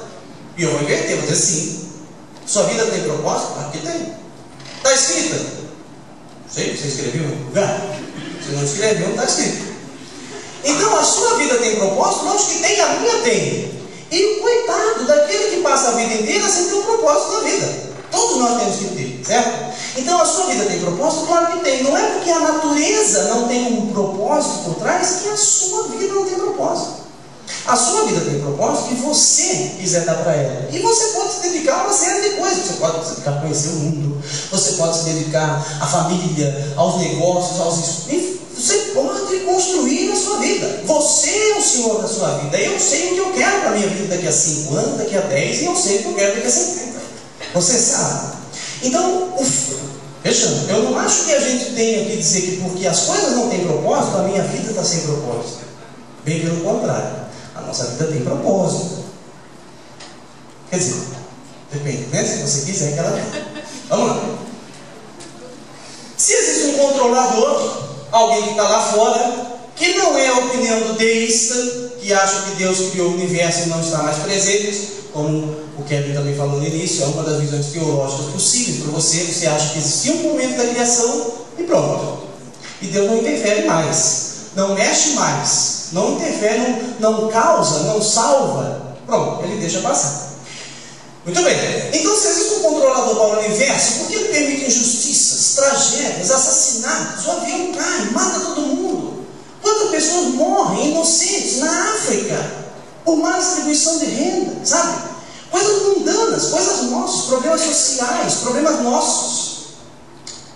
Será que tem algum propósito por trás disso? É difícil responder.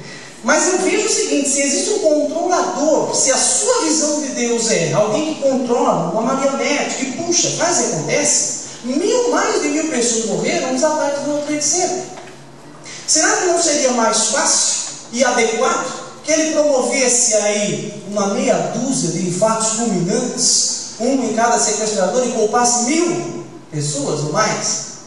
Será que todas aquelas mil pessoas que morreram mereciam estavam em débito com ele? Será que não tinham pessoas honestas, caridosas, que seguem mandamentos à risca, que vão à missa? Ah, mas, bom, e aí o fato de ir à missa, você escolhe uma religião, né? quem garante que a sua é certa? Às vezes você está rezando com o cara errado e você vai ser punido por isso. Vai saber, gente, vai saber. Entende? É, compli é, é complicado, o negócio é complicado. Não existe verdade final, existe diálogo. A gente tem que dialogar. Muito bem. Mas ele não interfere, é o livre-arbítrio. Famosa tese do livre-arbítrio. Então as coisas acontecem, Deus não interfere, e bom, vamos em frente. Então beleza, então não precisa mais ir à missa, não precisa mais rezar, não precisa mais agradecer. Está agradecendo o quê? O que ele fez? Agradeça ter criado o universo, então. Só, vai lá. Daí para frente ele deixou o trem andar. Então, sabe, às vezes as pessoas têm incoerências na cabeça e é só isso que eu quero dizer. Você tem que defender, se você quer acreditar, eu não estou dizendo para você deixar de acreditar. Veja, não é isso. Eu só estou tentando aqui colocar algumas questões para você pensar e ver assim, não, eu acredito em Deus, eu acho que existe. Beleza, eu não estou contra isso, nunca você. Você vai ser feliz da maneira que você quiser. Eu não vou brigar, ninguém vai fazer guerra, ninguém vai quebrar prédio, nada disso. Mas eu acho que você tem que ter, pelo menos, uma certa coerência. Porque tem coisas que não fazem sentido. E é isso que eu convido vocês a pensar, o que faz e o que não faz. Então, uma vez avisado, não pedi, não Deus agradece. Não, mas peraí, apenas assim. Por quê? Não, porque Deus ajuda. Mas ajuda aquele que perde. Ajuda aqueles que se dedicam. Ok. E a natureza também não. Se você não se dedicar, se você não for é, com afim com aquilo que você está fazendo, se você não tiver paixão por aquilo que você faz, a chance de você ser bem sucedido cai. E de novo, uma visão natural para a mesma explicação que você me dá. E de novo, se você me diz assim, professor, Deus ajuda. E eu rezo, eu peço e Ele me ajuda. Gente, o que é que eu vou dizer para você? Ok? Entende? Chega uma hora que é a sua explicação. E como disse o Fernando, não, nem a melhor nem a pior, é a sua. Entende? Não, eu acho que Deus me ajuda. Beleza, não estou contra isso, eu quero deixar bem claro. Eu só estou mostrando uma outra visão, uma visão natural da natureza. Não é a única, não é a certa, é uma. Bom? Então, eu vejo, na minha opinião, o livre-arbítrio como uma outra maneira de você ver a, natureza de maneira natural. Se a natureza é natural, as coisas acontecem. Acontecem. Boas, boas. Ruins, claro, lógico. As duas coisas. Natural. Livre-arbítrio. Apesar de já ter pesquisas que mostram que o livre-arbítrio não é bem livre-arbítrio. Dentro da neurociência, parece que o cérebro escolhe antes de você ter a escolha é, consciente. Né? Então, está mexendo isso aí. Mas aí é que está. Eu não tenho conhecimento para falar, eu concordo mil, um milhão por cento com o que Kevin falou. Quem acha que o seu conhecimento é o supra-sumo da humanidade, já é. Está perdido. A gente tem que reconhecer as nossas limitações e eu reconheço as minhas. Tem muita coisa que eu não sei falar. Sobre neurociência é uma delas. Então, muito bem, vamos lá. Então, ah, ah essa é outra, né? As coisas ruins acontecem porque nós estamos pagando penitência. Nós estamos evoluindo. Os espíritas gostam disso. Eu tive algum contato com o espiritismo da família. Então, evoluindo para onde? É a primeira pergunta, é a primeira pergunta que me vem na cabeça. Evoluindo para onde? De onde? Viemos de onde? onde vamos? Isso vai ao infinito? As coisas não começam? Sabe quantas espécies já são extintas? É, o número de espécies extintas é muito maior do que o número de espécies presentes no planeta hoje.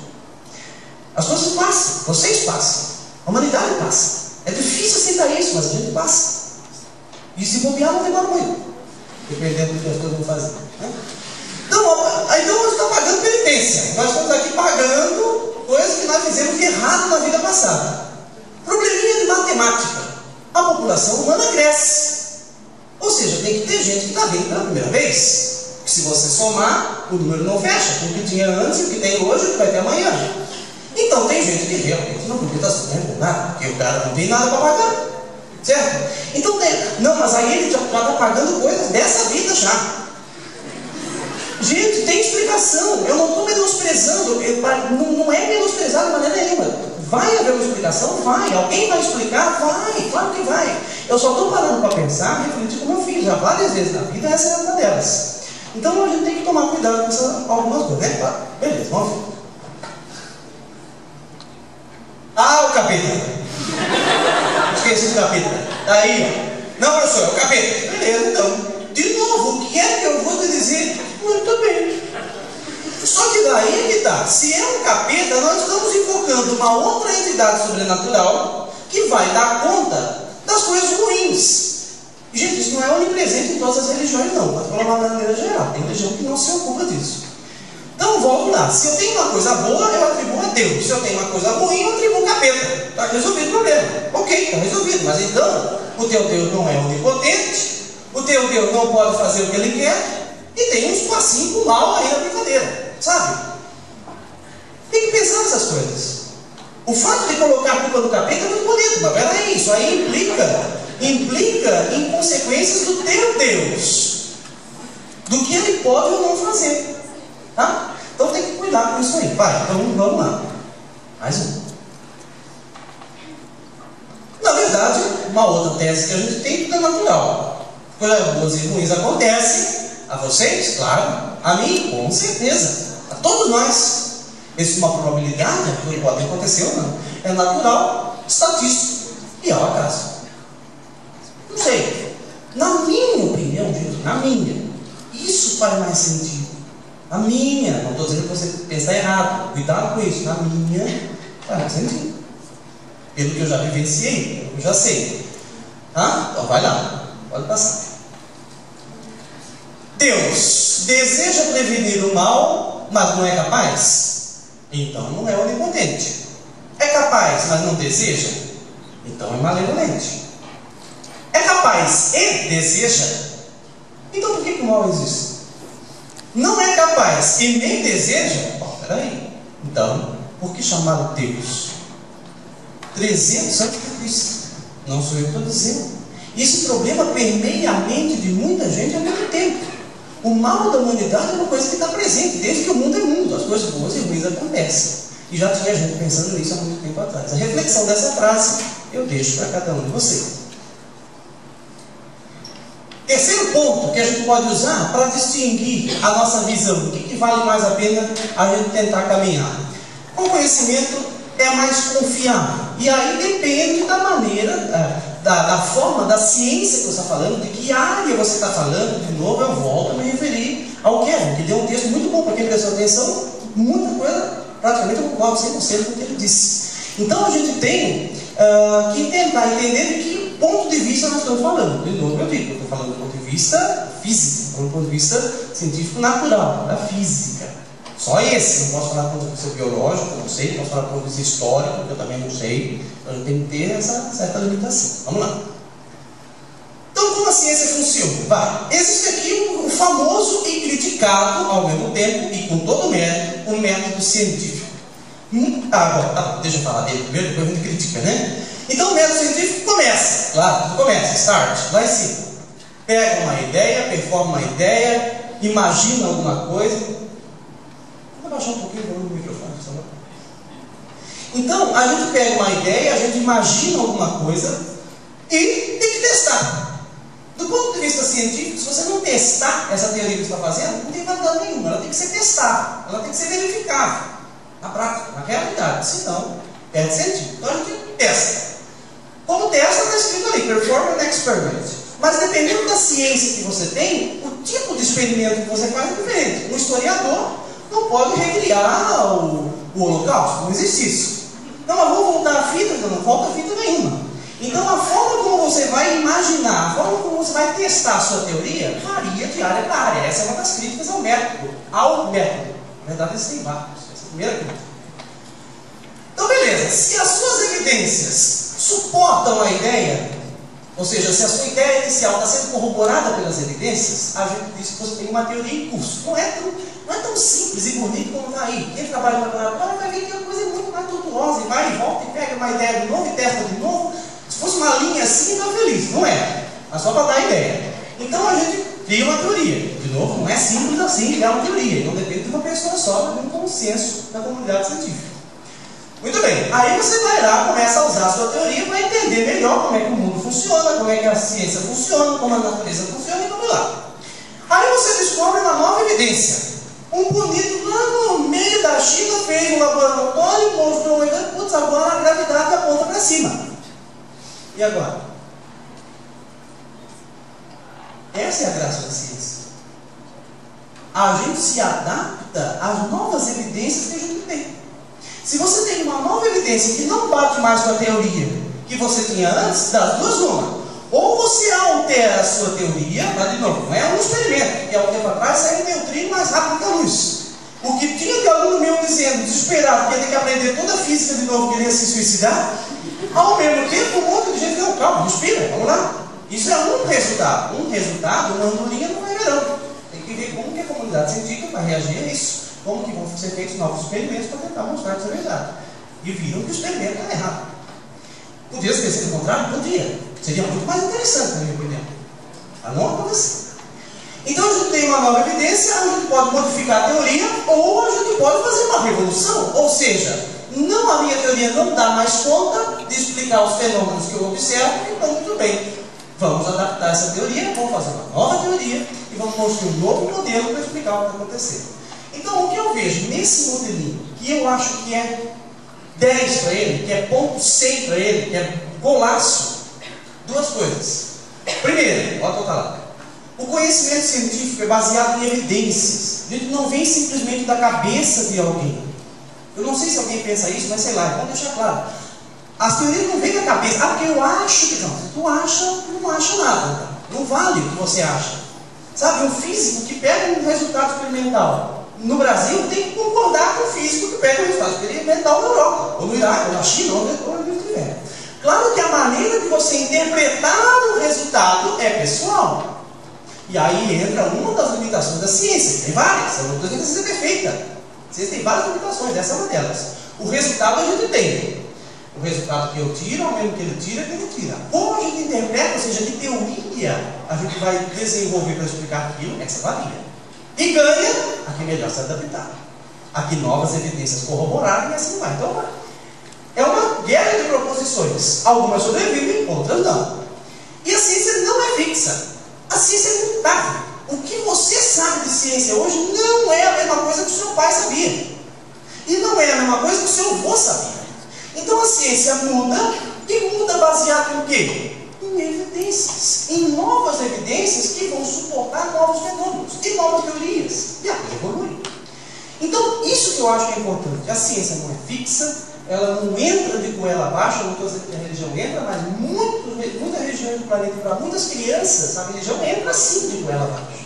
Tá? Então a ciência não entra de goela abaixo, não deve entrar, e ela é mutável. À medida que você tem novas evidências, você tem novas teorias que podem ser desenvolvidas aí. Vamos. Tá, eu ia voltar para a física, mas não, não, passa para frente. Então eu posso explicar por que as coisas caem. Existem várias explicações. Eu ia entrar em detalhe, mas não dá. O reloginho está me controlando. Então vai, tem aqui a teoria do lugar natural, foi muito antiga, pode passar para frente. Funciona para algumas coisas, não funciona para outras. Golaço, evidências novas em que a teoria não funciona. Então vamos em frente, novos experimentos, novas hipóteses, novas teorias, passa para frente. Não é nessa ordem, existem outros no meio do caminho, estou falando das mais conhecidas. Depois vem a teoria da gravitação universal, Newton. Força gravitacional, G é mil, M2, R quadrado. Eu sou toda psicologia. Ok, beleza, nós vamos me elongar muito aqui. Né? Então vamos ter aqui um comportamento assertivo. Essa eu decorei, vou guardar aqui.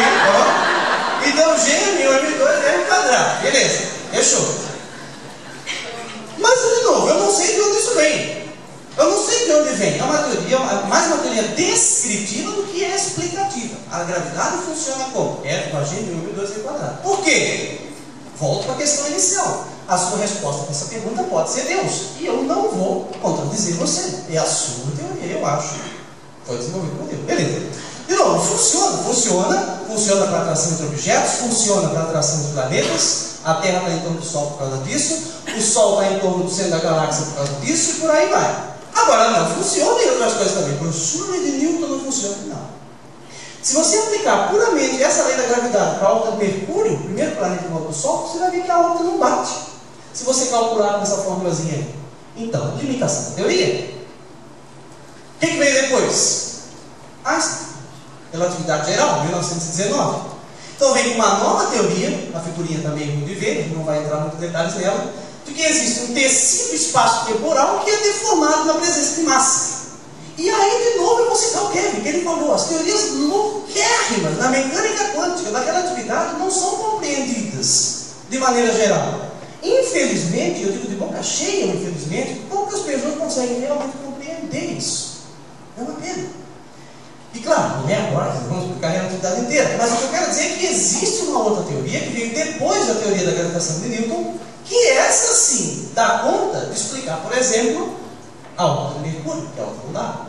Entende? Então a coisa é mutável. A gente tem novas evidências, a gente tem novas teorias.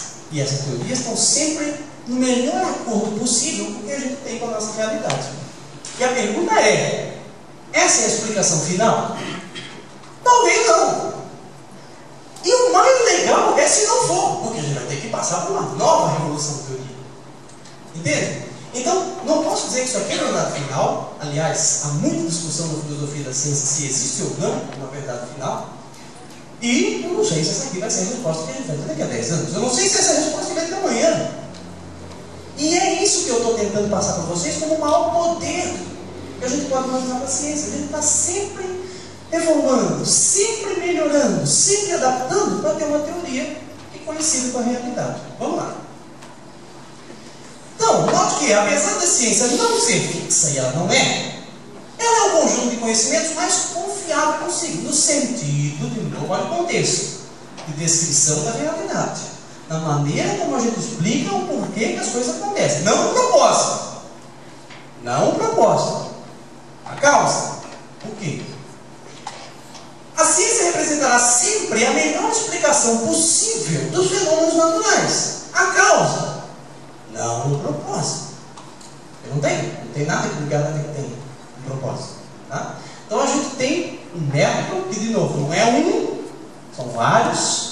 Cada ciência tem o seu método diferente e a gente tem que trabalhar com isso. Mas o que é comum para todas as ciências é baseado em evidência e é sempre o melhor conjunto uh, mutável, variável para se adaptar à realidade. Graças a esse métodozinho, que de novo não é um, tem várias críticas, mas só estou passando a ideia, a gente tem uma série de benefícios que a gente não nem se dá conta.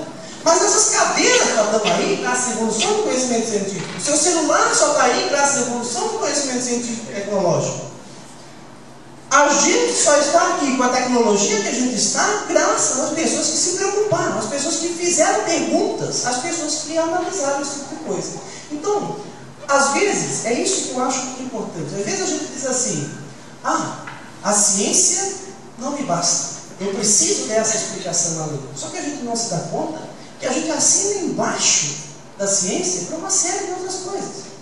Por que não assinar embaixo para isso também? Sabe, eu não estou dizendo que Deus não existe, mas eu estou dizendo que não tem evidência. E se não tem evidência, eu não vou acreditar. Não significa que você não vá. Não acredito. A hora que eu tiver uma evidência sólida, eu posso subir em cima e falar, isso aqui faz sentido. Então é isso, a gente se dá conta de várias coisas, não se dá conta de outras. Vamos. Então os cientistas sabem tudo? Bom, acho que essa resposta agora já tem categoricamente um não bonito para me dar. E se não tem, deveria. A ciência não sabe tudo, mas passar. A ciência evolui. E cada vez mais nós teremos um conjunto melhor conhecimentos, um conjunto mais bem adaptado àquilo que a gente enxerga, àquilo que a gente toca, àquilo que a gente chama de natureza, de realidade. Tá? Exemplo, se você olhar a literatura, se você olhar o longo da história, um eclipse, os bárbaros, por exemplo, quando tinha eclipse do Sol, o Sol era um Deus. O que, que aquela porcaria na frente fazendo ali na frente? Está louca? Então eles se armavam inteiro para a guerra e começavam a bater escudo até aquele negócio sair. Se um dia eles tentassem não bater nada, eles veriam que aquilo saía também. Entende? Então, muitas coisas que você considera hoje mística, que você considera hoje sem explicação, o arco-íris já foi uma ponte onde os deuses caminharam por cima. Gente, isso não é ridículo, isso é humanidade. Sabe? Então tem várias coisas que tinham explicação mística e hoje a ciência dá conta de que se alguém bater na sua porta, olha, naquele arco-íris fica esperando que vai descer um Deus do céu. Ou você enfia a mão na cara da pessoa, né? Ou você fecha a porta do vidro. Ou seja, não, a não tem mais um conhecimento místico associado ao eclipse ou a um arco-íris. Mas a gente ainda tem vida após a morte, por exemplo. Sabe? E aí volta aquele negócio que o Fernando falou. A religião uma era é o entretenimento literário da seguinte. Reflita sobre essa frase. A religião uma era é o entretenimento literário da seguinte. Vai. Aquilo que ainda não sabemos é o que impulsiona e o que move a ciência. E claro, você vai ver muitas vezes um cientista na televisão dizer assim, olha, eu sou muito feliz pelo que eu não sei. Mas o cara está louco? Não. Mas é o que ele não sabe que vai motivá-lo a buscar, é o que vai motivá-lo a estudar e pesquisar. Então, a pergunta, essa é aquela. Como tudo começou? E a primeira resposta dessa pergunta a gente tenta se dar numa noite estrelada onde a gente se acha o último grão de areia do universo. Eu, pelo menos, me acho assim. Cada vez que eu olho para o céu à noite, aquele céu estrelado, que você vê o fundo da Via Láctea, aquilo é uma visão maravilhosa. Me admira muito isso. E a gente percebe como a gente não é nada. Olha, eu, eu, eu minha visão, como a gente está longe de tudo. A nossa estrela mais próxima é o Sol.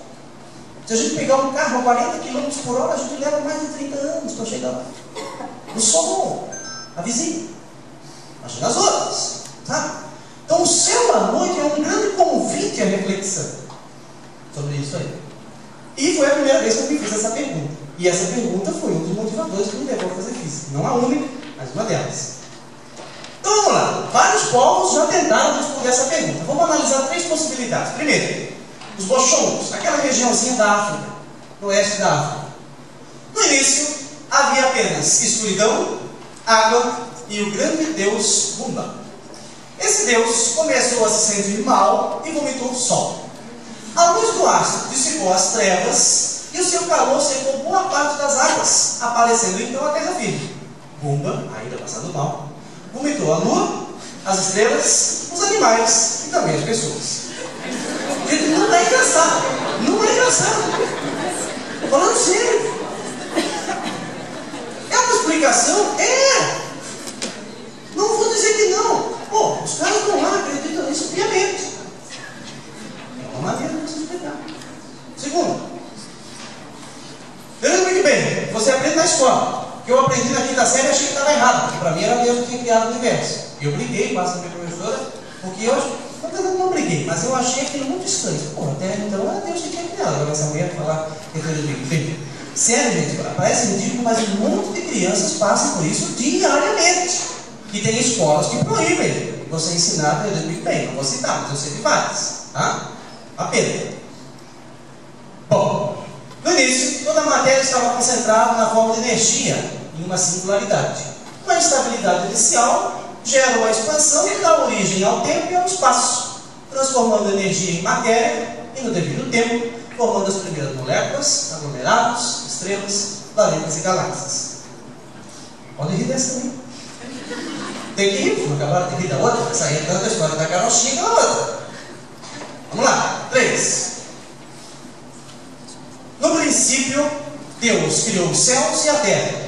Dia após dia, Deus criou a luz, os mares, a terra firme, os luminares, são as estrelinhas no céu, no, os luminares no céu, os animais e finalmente o homem criado à sua imagem e semelhança. Depois cria a mulher. Se você pegar Gênesis, não é exatamente assim. Tá? Eu adaptei porque é muito longo a, a, a parte inicial. Mas eu resumi, mas é isso. É uma explicação? É. Só que o que eu acho curioso é que eu já perguntei para certas pessoas que realmente são religiosas, que têm religiosidade, e nem elas acreditam nisso. É difícil, é difícil para mim é, esse tipo de coisa, sabe? Eu não vi em nenhum momento na Bíblia, como o Fernando também disse, a nota de rodapé. Olha, isso aqui a gente está colocando porque a gente precisa de um início. Não tem isso. Eu, eu, e eu sou leigo, eu gostaria realmente de saber mais sobre isso, sobre a Bíblia, sobre todas essas questões. Eu não sei. Eu vou ler a Bíblia, eu não sei o que é fato, o que não é, o que aconteceu, o que é relato histórico, como muita gente tem feito que é, o que não é. Eu não sei. E alguém lê isso aí vai acreditar realmente nisso aí, como vai acreditar em todas as outras partes. Mas muita gente que acredita em, outras, em todas as outras partes não acredita nisso aí. Por quê? Não sei. Não sei mesmo. Então tá bom. Mitos à parte, o que a gente pode fazer? Vamos lá. Vamos analisar as evidências. De novo, claro que eu estou sendo tendencioso, porque eu estou aqui falando como científico. Poderia defender outro. Então, essas evidências para a teoria do Big Bang. Ela não é simplesmente alguém olhou e disse, olha, só pode ter sido uma explosão. Se alguém tivesse dito isso, sabe? Passeado por essa, né? E só pode ter sido uma explosão. Pode ter sido várias outras coisas. Uma explosão. Leão, qualquer coisa. Mas eles têm evidências. Então vamos analisar um pouquinho essas evidências. Primeiro, em 1920, o Hubble, o mesmo nome do cientista que dá o nome do telescópio, ele descobriu um efeito muito semelhante que acontece ao som de uma ambulância. Quem já reparou isso aí na rua, viu? Que a ambulância não está se aproximando de você com a sirene ligada, o som parece de um jeito. Quando ela passa por você, a sirene é a mesma, mas você percebe o som de outro jeito. Um avião passando no rasante, quando está se aproximando de você, você percebe o som de um jeito, a saída de outro jeito. Uma ambulância, uma buzina, um avião, por aí vai. Esse efeito chama efeito Doppler e é muito comum com o som. Ele percebeu que se ele olhasse as estrelinhas, todas as estrelas, quando a luz dela chega aqui na Terra, vem aquelas linhas que aparecem pretinhas ali, que a gente chama espectro de absorção. Toda estrela tem. E é uma assinatura dos elementos químicos que tem dentro da estrela, tá? ou, ou pelo menos na, na capa externa dela. Então o que, que a gente tem? A gente tem uma série de assinaturas que são conhecidas aqui na Terra. Porque eu posso fazer um espectro desse com gás hidrogênio, um gás hélio e por aí vai. Então, se eu sei o gás, eu sei a assinatura. Se eu sei a assinatura, eu sei o gás. Só que o problema é aquele ali, ó. Se eu fizer um espectro em repouso aqui na Terra, eu vou ter exatamente o espectro de cima, com aquelas linhas pretinhas faltando. Se eu olho para uma estrela, eu observo de baixo. Veja que o espaçamento entre as linhas é igual, em cima e embaixo. Pena que está claro que você não consegue enxergar, mas o espaçamento é igual. Só que está desviado. Está um pouquinho para a direita ou para a esquerda. Esse pouquinho para a direita e para a esquerda é a mesma coisa que acontece com as devidas modificações, que eu não quero entrar muito em detalhes aqui, com o som. Então, graças a esse deslocamento para a direita e para a esquerda, o Hubble conseguiu pela primeira vez medir a velocidade de afastamento de uma estrela, de uma galáxia, em relação a nós. Ele disse, opa, então se aquela estrela está se afastando, vamos apontar o telescópio para outra direção e ver uma estrelinha se aproximando. E não deu. Também está se afastando. E olha para cima, e olha para baixo, e olha para qualquer direção que você olhe, todas as coisas estão se afastando. E não só se afastando de nós, porque a consequência imediata é pensar que a gente está no centro do universo, também é falso, está todo mundo se afastando de nós, mas as coisas também estão se afastando entre si. Essa é a primeira grande evidência de que o nosso universo está em expansão. E essa expansão é acelerada. A expansão não é constante, o nosso universo não é fixo, o nosso universo aumenta de tamanho. Espaço e tempo, segundo a relatividade. Outra evidência que a gente tem, pode passar, é a radiação cósmica de fundo. Isso aqui foi feito por uns caras, uma companhia telefônica dos Estados Unidos, eles estavam analisando o sinal do. Eu, bom, eu não sei exatamente a história, eu sei mais ou menos. Eu sei que eles estavam analisando o sinal do satélite e eles percebiam um ruído de fundo. Bom, então vira para cá, vira para lá. De novo, para qualquer direção que eles apontassem o satélite que eles estavam usando, ou a anteninha que eles estavam usando, eles percebiam esse sinal, esse ruído. Depois se descobriu que esse ruído é responsável cerca de 10% daquele chiaço na televisão, sabe? Quando ela não em nenhum canal. Fica aquele preto com branco, tudo misturado, com aquele som. A parte daquele sinal que a sua antena capta é responsável por essa mesma radiação, chamada radiação cósmica de fundo, que o Penzias, se não me engano foi o Penzias, que viu isso pela primeira vez. Então, existe uma radiação que permeia o fundo do universo, aqui, agora, em todos os lugares. Essa radiação existe na mecânica quântica, uma formulazinha que você aplica que você consegue determinar a temperatura. E se você voltar o filme daquele espectro lá, ou seja, eu sei qual é a posição da estrela em relação a mim, eu sei qual é a velocidade. Eu sei a posição da outra, eu sei a velocidade. Se você calcular em sentido regressivo, você chega num tempo que é exatamente igual ao que a gente considera hoje como tempo de existência do universo, para quem já viu 13,5 bilhões de anos. Então, isso é o que a gente sabe baseado na expansão do universo. E se a gente usar esse tempo na radiação cosmológica de fundo, a gente consegue uma boa temperatura para o início do universo, cerca de 10 elevado a 30 graus Celsius. 1 seguido 30 zeros. Você achou que mil era um número muito grande. Imagina que não é 1 seguido de 30 zeros. Essa é a temperatura que a gente acredita no início do universo. E essas temperaturas, com essa expansão, ainda é corroborado com uma terceira evidência é a abundância de elementos leves. Quem viu aquela série Poeira das Estrelas, no Fantástico, do Marcelo Gleisi, ele falou que todo, todo elemento químico que a gente tem aqui, o elemento químico que você é composto, que essa cadeira é composta, que a parede é composta, tudo isso foi criado dentro de estrelas. E quando a estrela explode, no final da vida dela, esses elementos são jogados espaço afora. Eventualmente, eles se aglomeram em forma de nuvens, essa nuvem tem um efeito de momento angular, ela achata, e a rotação aglutina, roda, aglutina, roda, vai formando os planetinhos e as estrelas e por aí vai. Então toda a matéria que você tem aqui veio de estrelas, do interior de estrelas. Se você deixa passar um tempo muito longo, a quantidade relativa desses elementos vai mudando. E se você pegar a quantidade relativa atual desses elementos e calcular quanto tempo precisa para formar o que a gente observa hoje, dá os mesmos 13,5 bilhões de anos. Sabe?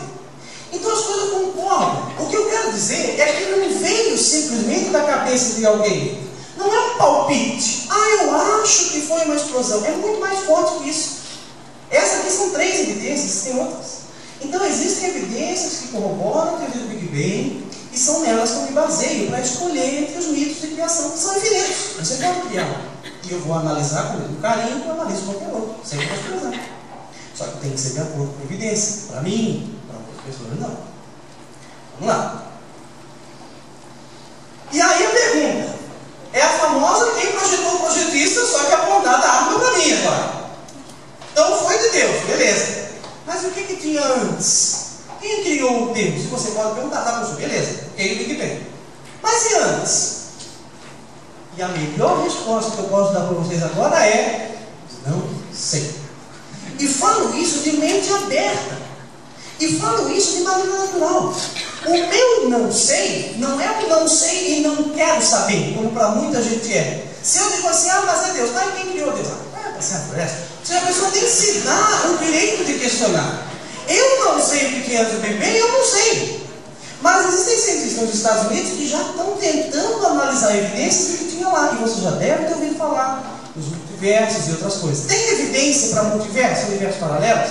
Não, ainda não. Por isso, se você perguntar para o cientista, olha, você acredita na, na, teoria dos multiversos? A melhor resposta que ele pode dar para você é não. Mas não significa que ele não deva pesquisar aquilo. Entende a diferença? Bem como eu não estou dizendo que você não deve pesquisar Deus. Deve sim. Deve sim. Só que bater o martelo é só depois que houver evidência. Antes disso, não. A pesquisa é válida. A pesquisa é válida. A pesquisa é válida.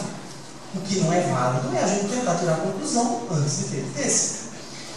Então, colocar Deus não resolve o problema. Porque eu ainda vou querer saber de onde isso veio.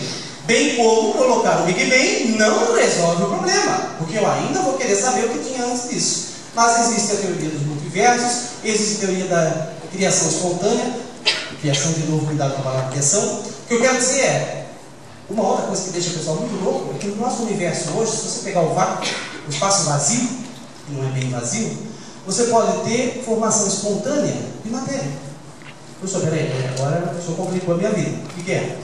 O senhor está me dizendo que no espaço vazio é possível ter a, simplesmente o um aparecimento de matéria? Sim. Pode. Dá para fazer em laboratório. Acontece no universo inteiro.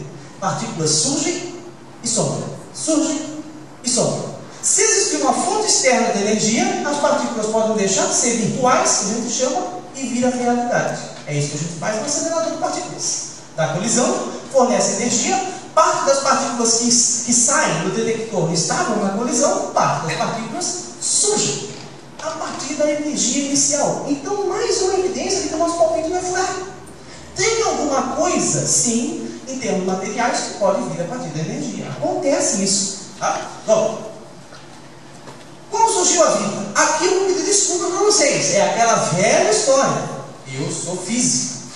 Então, provavelmente o biólogo vai dar um show de vocês. Então, apresentar 1348 teorias, como devem existir. Existem as mais aceitas, existe a biogênese, a biogênese. Tem várias que vêm à medida que o tempo passa. Atualmente a gente considera, difícil dizer, né? Mas existem várias teorias e a que a gente mais aceita é que a, a, a vida surgiu a partir da química. Então, uma interação química, uma química não orgânica, passa para uma química orgânica a partir de reações naturais, naturais, entre esses átomos, entre essas ligações, formaram os primeiros componentes da vida. Não é uma coisa que aconteceu assim, tá? É uma coisa que demorou. Existem teorias que dizem que foi na soma primordial, no oceano primitivo, outras teorias, como em um artigo recente, 2002, na, em rochas submarinas, em materiais minerais submarinos. Então, sabe, ainda tem briga, ainda tem uma série de questões que estão em aberto, mas que a gente está avançando nisso. É uma pergunta que eu digo para vocês que eu não sei, mas eu tenho prazer de não saber. Mas o que a gente acredita mais fortemente hoje é que esse surgimento veio a partir da química, a partir da interação de átomos, de elementos que já estavam aqui na Terra, na, na, na, na atmosfera primitiva, no oceano primitivo, e que deram origem a isso aí. Passa.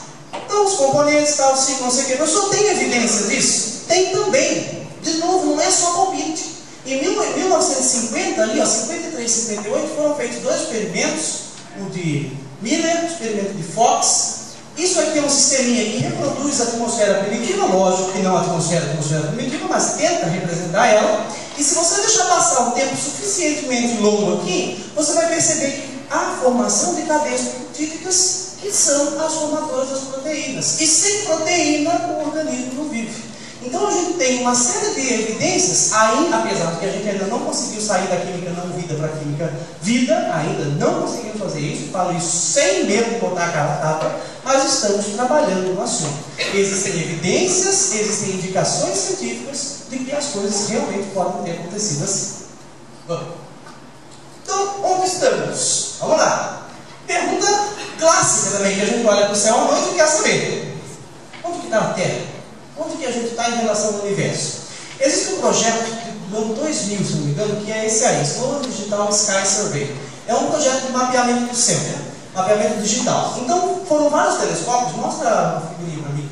Aqui, ó. Vários telescópios, pena que não aparece de novo. Os projetos envolvendo os telescópios que varrem o céu, fazem imagem de alta exposição, de longo tempo de exposição, imagem de profundidade, começa a mapear, começa a catalogar os, os objetos que a gente observa no universo.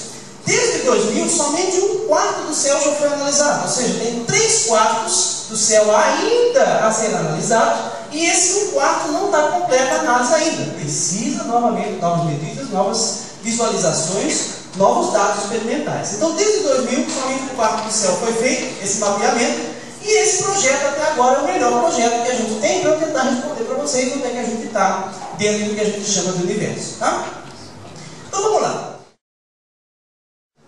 Dentro desse projeto, a gente percebe que a gente olhando o universo afora, existe uma certa ordem. O universo mantém essa ordem independente da direção que você olha. Não existe uma direção privilegiada no universo, a gente chama isso de isotropia. Então, basicamente, para qualquer lugar que você olhe, a organização do universo é a mesma. Então, a gente tem planetas que orbitam eventualmente uma estrela, ou mais de uma, um sistema binário. A gente tem isso formando um aglomerado de estrelas, que uma montoeira deles forma uma galáxia orbitando em torno do centro, onde geralmente tem um negro. E essa montoeira de galáxias forma um aglomerado de galáxias que forma formam um super aglomerado de galáxias e por aí vai. Então, essa estrutura aí é repetida independente do lugar onde a gente olha. Desde o ano 2000, onde esse projeto começou, já foram catalogadas mais de 900 mil galáxias e mais de 900 milhões de corpos celestes. Você achava que a Mega era muito. 900 milhões de corpos celestes. Estrelas, galáxias, planetas, cometas, por aí vai. Ah? Vamos. A busca por planetas é muito mais difícil, porque os planetas não emitem luz própria e a nossa tecnologia para buscar planetas começou há muito pouco tempo, 1992, está lá, tá? 1991, estava em dúvida também. Então, desde 1991, que foi descoberto, se não me engano, o primeiro planeta fora do sistema solar, é que a nossa tecnologia vem se desenvolvendo para a gente analisar e buscar esse tipo de coisa. Mesmo assim, veja, em pouco tempo, desde 1991 até hoje, já foram encontrados 484 planetas orbitando 408 estrelas. E esse dado é de janeiro de 2011, não é dado que eu consegui. Janeiro de 2011. Então, o que isso indica? Em tão pouco tempo, a gente achou uma quantidade muito grande de planetas. E até 50 anos atrás, a gente achava que o planeta era mais difícil. Que a gente era privilegiado por pertencer a um planeta que orbitava uma estrela. Hoje a nossa visão está mudando. Hoje a gente está vendo que a regra no universo é estrelas secundadas por planetas. Antes a gente achava que essa era uma exceção e nós éramos parte dela. Hoje a gente está mudando isso. Hoje quase essa é a regra. E a exceção é uma estrela sem planeta. Louco isso, né? Então, aqui eu mostro um sisteminha de planetas que foi descoberto, o Gliese 581. Aqueles ali está em comparação com o planeta Terra, o nosso planetinho ali. Então, só para dar uma escala de tamanho. De novo, está meio ruim você enxergar aí, eu peço desculpas, mas a luz está apagadinha para você ver. E aquele 581G é o nosso que a gente chama de planeta tipo Terra. Então, é um dos planetas tipo Terra que a gente descobriu. Se tem água lá, a gente não sabe se tem vida muito menos. Ah, mas a, os planetas são comuns e aqui é só um sisteminha deles que foi descoberto nesse tempo. Então viaje comigo.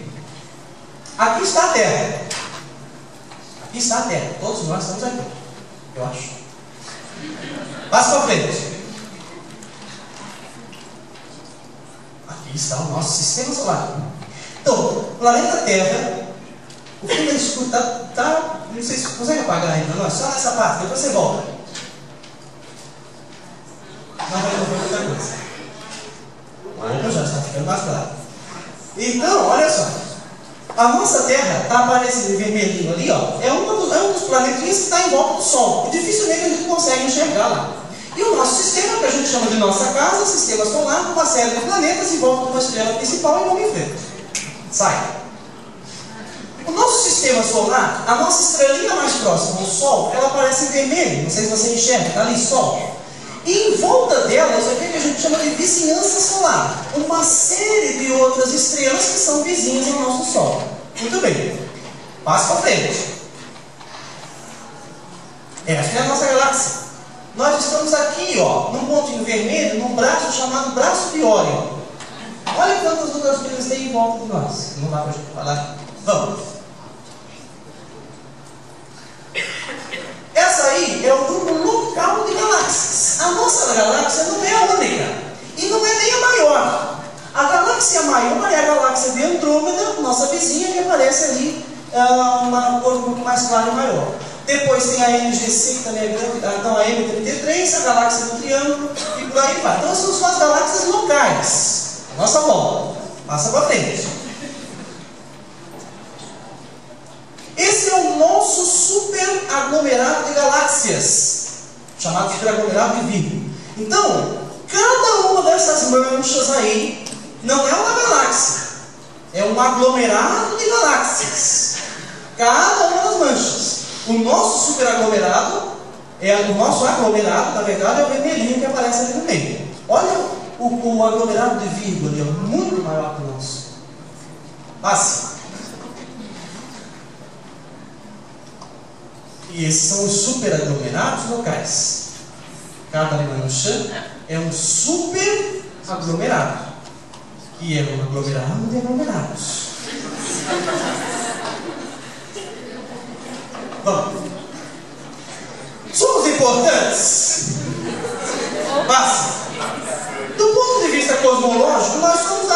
numa civilização, num planeta qualquer, vivendo em volta de uma estrela qualquer, numa galáxia qualquer, num aglomerado qualquer, num superaglomerado qualquer, num dos pontos do universo. Não há privilégio, gente. Nós não somos privilegiados do ponto de vista cronológico. Não tem nada disso. De novo, não significa que a nossa vida não tenha sentido. Não significa que a nossa vida não tenha propósito. Propósito é aquilo que você quiser. Certo? Então espero ter passado a minha mensagem. De novo, sou contra qualquer tipo de briga, sou contra qualquer tipo de guerra, porque eu prezo muito pela vida, pela nossa civilização, pela humanidade, e eu acho que enquanto a humanidade se preocupar com a humanidade, a gente vai ter uma civilização próspera. Até o sol morrer. Quando o sol morrer. Não é verdade. Mas eu acho que a gente deveria aproveitar esse nosso momento no universo, aproveitar a vida, que é o bem mais precioso que todo mundo tem aí. Que eu sou realmente apaixonado por ela, e pelo universo, e pela física, e por ensinar física também. Gente, obrigado.